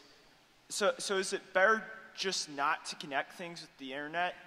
Um, and also, uh, what, what, about other forms of attack? I know, uh, or it's been theorized that some people start attacking things without the internet, uh, anything that's radio controlled. Uh, what's the future in that? Uh, the, joke internally is that, yeah, take it offline if you want it to be safer. But that's not realistic. Uh, modern inventions leverage the power that computing brings, the ability to do different kinds of analyses or to move something differently or to work faster. So the idea, there are a lot of technologies, you know, without, without naming them all, there are a lot of technologies that protect the direction of information. So for example, we don't let any information out of the control system side, but we do let it in so we can monitor. There are hundreds of technologies that will let you actually watch the instructions that execute on those devices. Just so you, a little optimism here. It's like a bar bouncer. It says these, these devices are very limited in what they're supposed to do. So if you give it a list of programs that are supposed to execute there, and the malware comes in and it's not on the list, it doesn't execute. So the optimistic side is there are ways to protect it. The ridiculous side is that they're pretty easy to obtain and a lot of people aren't using them, and I think that's why those problems are there. There are some sophisticated attacks even against what we have today, but not in the mass epidemic number that we have. So I would, you know, in your spot, I think you're in a great spot because you understand the physical system to start looking at what does it mean when you, what can you gain by the electronic connectivity? And as you connect it, design your security in and you'll be way ahead. I don't know if you. Yeah, I, I just wanted, um, so the assumption is that if you take a system off the internet, if you disconnect it, you're safe. Stuxnet, the, the machines that it targeted were not connected to the internet. So in computer terminology or for computer security terminology, the idea is to air gap your system from the internet. So you might have uh, at, let's say, a chemical plant or water treatment plant, you have the business network, and those are the machines that the workers use to surf the internet, get their email, and all that. The production network that actually controls the critical systems are not, shouldn't be connected to the internet. What happens is that they sometimes connect those two networks with a firewall. And so they believe that because they have a firewall between them that it's actually okay. The attack on Ukraine that took out the power system started with an attack on the business network. The attackers got in through a phishing attack, got into the business network, obtained uh, credentials through the Windows domain controller. They used those credentials. Some of the credentials were, uh, the workers were using them to VPN into the SCADA network. So they used those credentials to then come out the back door, come back in through the VPN, get to the SCADA network, and then they started opening breakers and taking the power down. Uh, however, there was something that could have helped prevent that, and that is if they used two-factor authentication. They only used uh, passwords. If the workers had used uh, passwords along with, um, let's say, a code that gets uh, transmitted to their phone in the way that you probably, many of you do with your Gmail accounts, um, that would have provided extra security. So there are sort of certain things that you can do to ensure that even if a system is connected to the internet or is accessible over the internet, you can do some things. But again, with Stuxnet, it traveled via a USB stick. So it was walked to the system. If I can add one, so that's cyber hygiene. That is the, the, person who clicked, the unlucky person who clicked on the link in the phishing note that brought in the malware. They'd had a decent web gateway, that probably wouldn't have happened.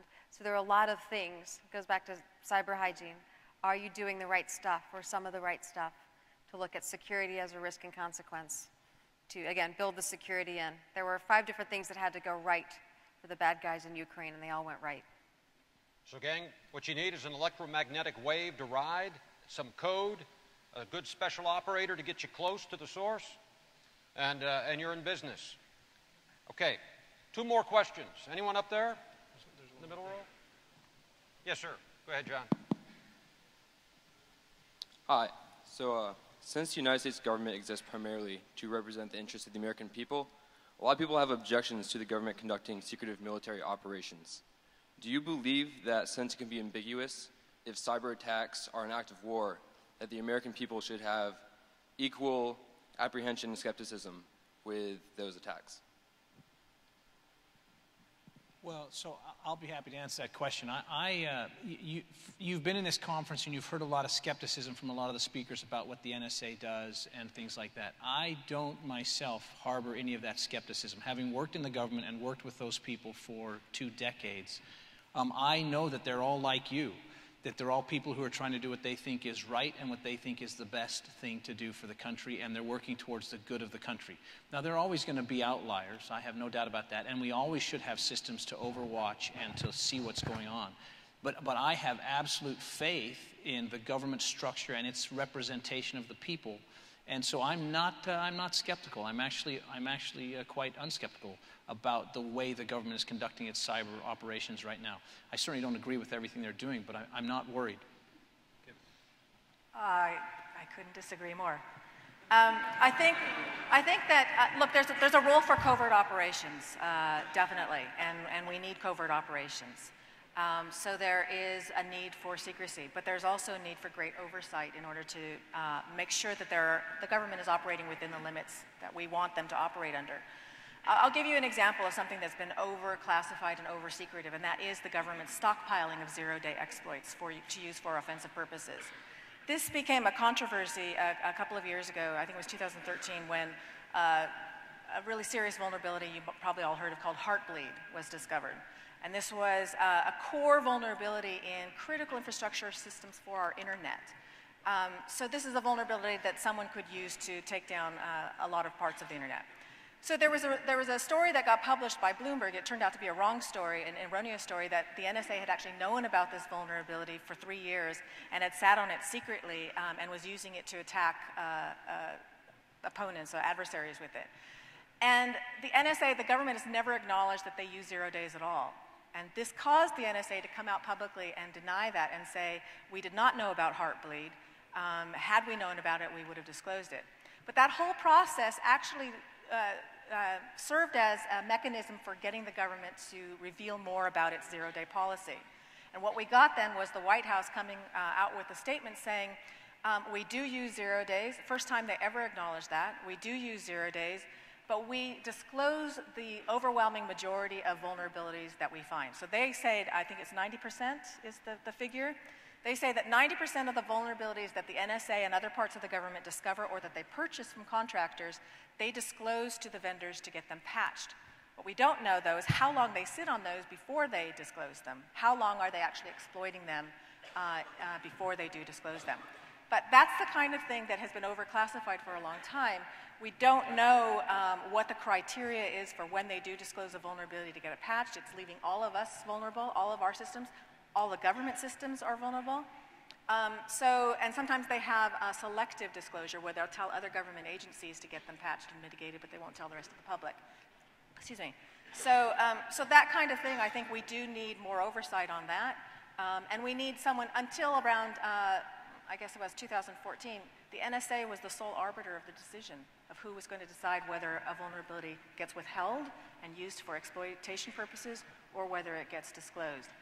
There was a, a, a government commission that basically uh, decided to advise the White House that it shouldn't be left in the hands of the, the NSA, and now there's uh, National Security Council is overseeing a process called equi equities process, where they evaluate this in a, in a, group. But that's the kind of thing that I'm saying that we need more oversight in. May your government respond to that and yeah. open the debate. Um, so Heartbleed for us was a. Um, I, I, don't look at that as an attack or a piece of malware. Heartbleed was a, a vulnerability in a piece of open source software, which opened a whole other Pandora's box of software that's created and, and modified and improved by the general public. And so this was a, a piece of software that allowed you to uh, send encrypted communications, right? And there was a vulnerability that if you used it right and the right timing and had a lot of patience, you could actually see what those communications were when you opened the channel. So that has a long tail. That attack still worries me because even though we reached out to as many people as we could when we found out about this and said, Fix that, update, patch your, your version of this if you're running it somewhere. There were uh, about 10 days in there between the time we announced it and the time that, that we were able to do anything about it across our government agencies because we were, and we're fixing this as a government, we were busy lawyering, trying to get permission to go into the government agencies uh, to fix this and to scan their networks and to make sure they didn't have this open exposure. So we think that a lot was probably exposed in that time. We have since through legislation and a lot of hard work, fixed that problem, and that will be instantaneous next time. Yeah, I just, want, I just want to say, she, thank you for correcting me, because I said that Heartbleed could take down systems. Um, there were about three or four uh, vulnerabilities, open source vulnerabilities that were discovered around the same time, and they all had different capabilities. And that was an interception uh, vulnerability that someone could use to um, intercept. There's uh, so much of this stuff, it gets really confusing. the other piece, and that you raise a really great hard problem, Kim, on the controlled release.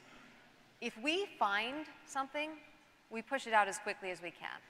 People come to us and say, this is a bug in our software, and here's where it gets very difficult. And I had this happen. The, the uh, discoverer of JASBUG came to us and said, here. This was the one that created a vulnerability when you VPN'd into Windows systems and said, how do we get this out as quickly as we can? And here was the caveat. The company that, that the, the private company that creates these operating systems wanted to wait uh, until they had a patch so that they could actually help their customers fix it. So we always have this problem of patch Tuesday leads to exploit Wednesday, meaning when you expose the vulnerability, it's a race for the bad guys to mess with it until you can get it fixed. And it's always a choreographed dance to try to figure out how we shore up our government, shore up our private sector, and do the right thing for the company that's rightfully trying to patch the thing. Um, because every piece of software has holes, everybody's owned, this is not a stigma. But the controlled release piece is very difficult, and I can assure you in my shop, we push out data through the CERT memos, through the joint, they call them JIBs, Joint Information Bulletins from us and FBI and others. We push it out as quickly as we can. We're not here to hide stuff, we're here to absolutely get it to you, and we have support on getting things to you from the good people at the NSA. They, de they declassify as much as they can that we can push out and same with FBI. So again, if I didn't believe that, I'd go back to private sector because my commute was a lot easier. So we're going to conclude this. Uh, my, my final summation then is that cyber attacks have done very little to clarify armed conflict, but they have extended that discussion to the population at large. So listen, thanks very much to all my uh, panelists. We'll see you this afternoon, okay?